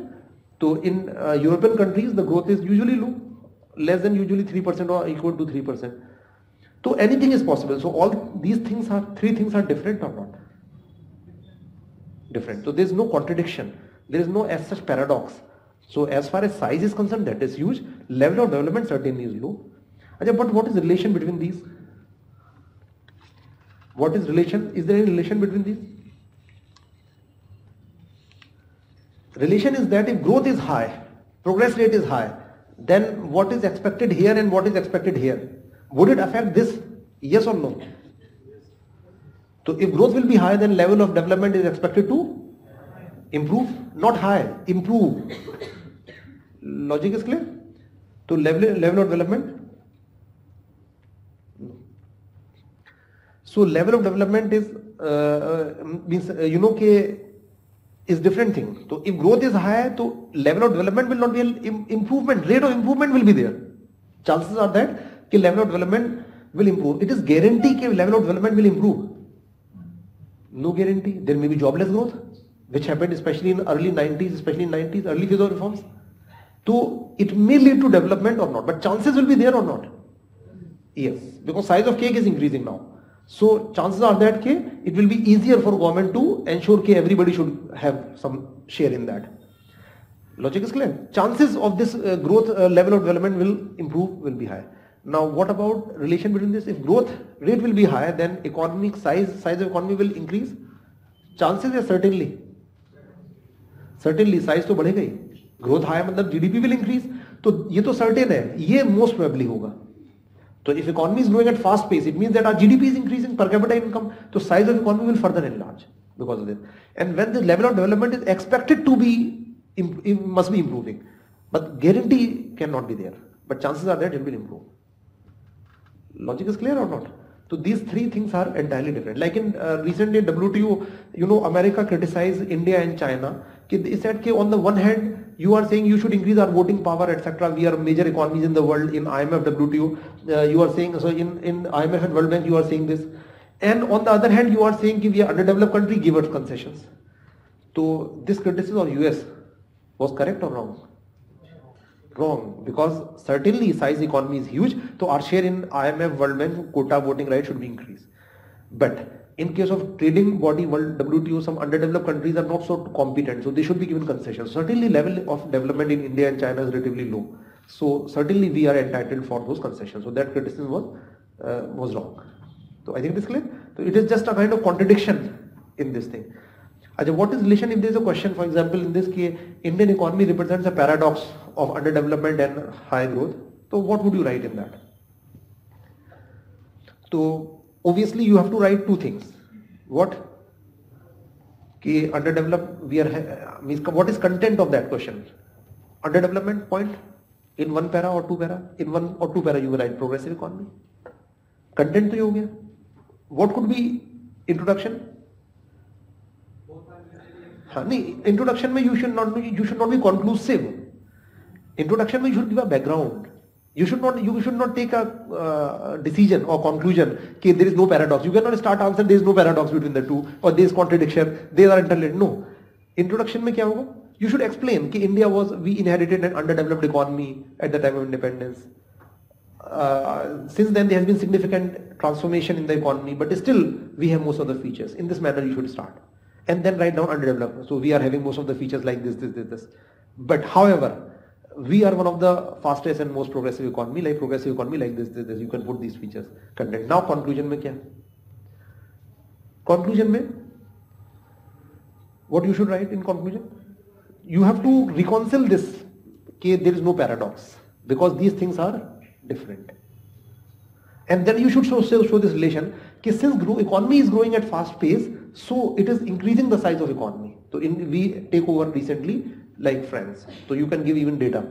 Uh, a few months back in 2018, Indian economy became sixth largest economy by taking over France. Okay, and since growth is fast, so India, the level of development is also improving. So India is expected to become a developed country in future. So because your conclusion should be futuristic and optimistic. So you should intercalate. So, the examiner will understand, okay, since growth is high, so it means that size of economy is going up. That is why we have taken over France. So you can give a practical example like we take over France in 2018.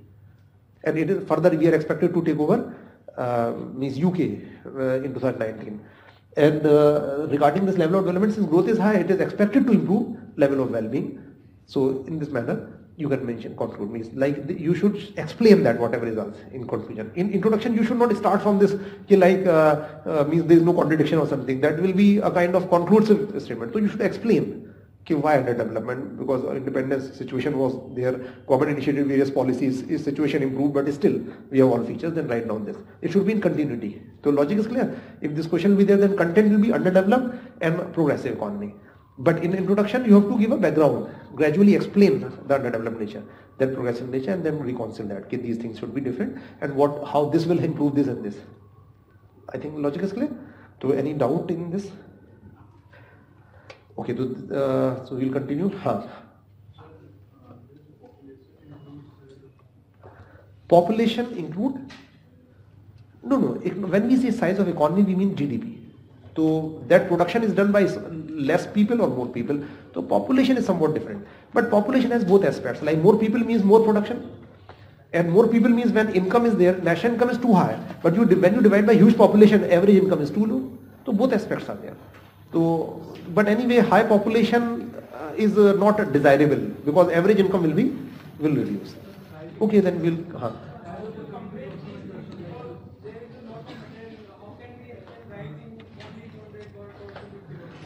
practice because two things are needed one is content other is the presentation both things are needed so you, uh, it is very different from university exam you have to see what exactly is asked accordingly you have to write so you should write few answers consistently keep on writing answers you can show to the academic associates and me as well so wherever you have doubt you can show. i'll tell you what should be the content what which word you should put so presentation skill gradually will evolve and one more thing in case of mains answer you know you cannot write very good answer by just writing one topic on that because things are interrelated interdependent so uh, gradually you know uh, the quality will improve but you should keep on writing writing is very useful okay then we'll continue tomorrow if you have any doubt i'm available here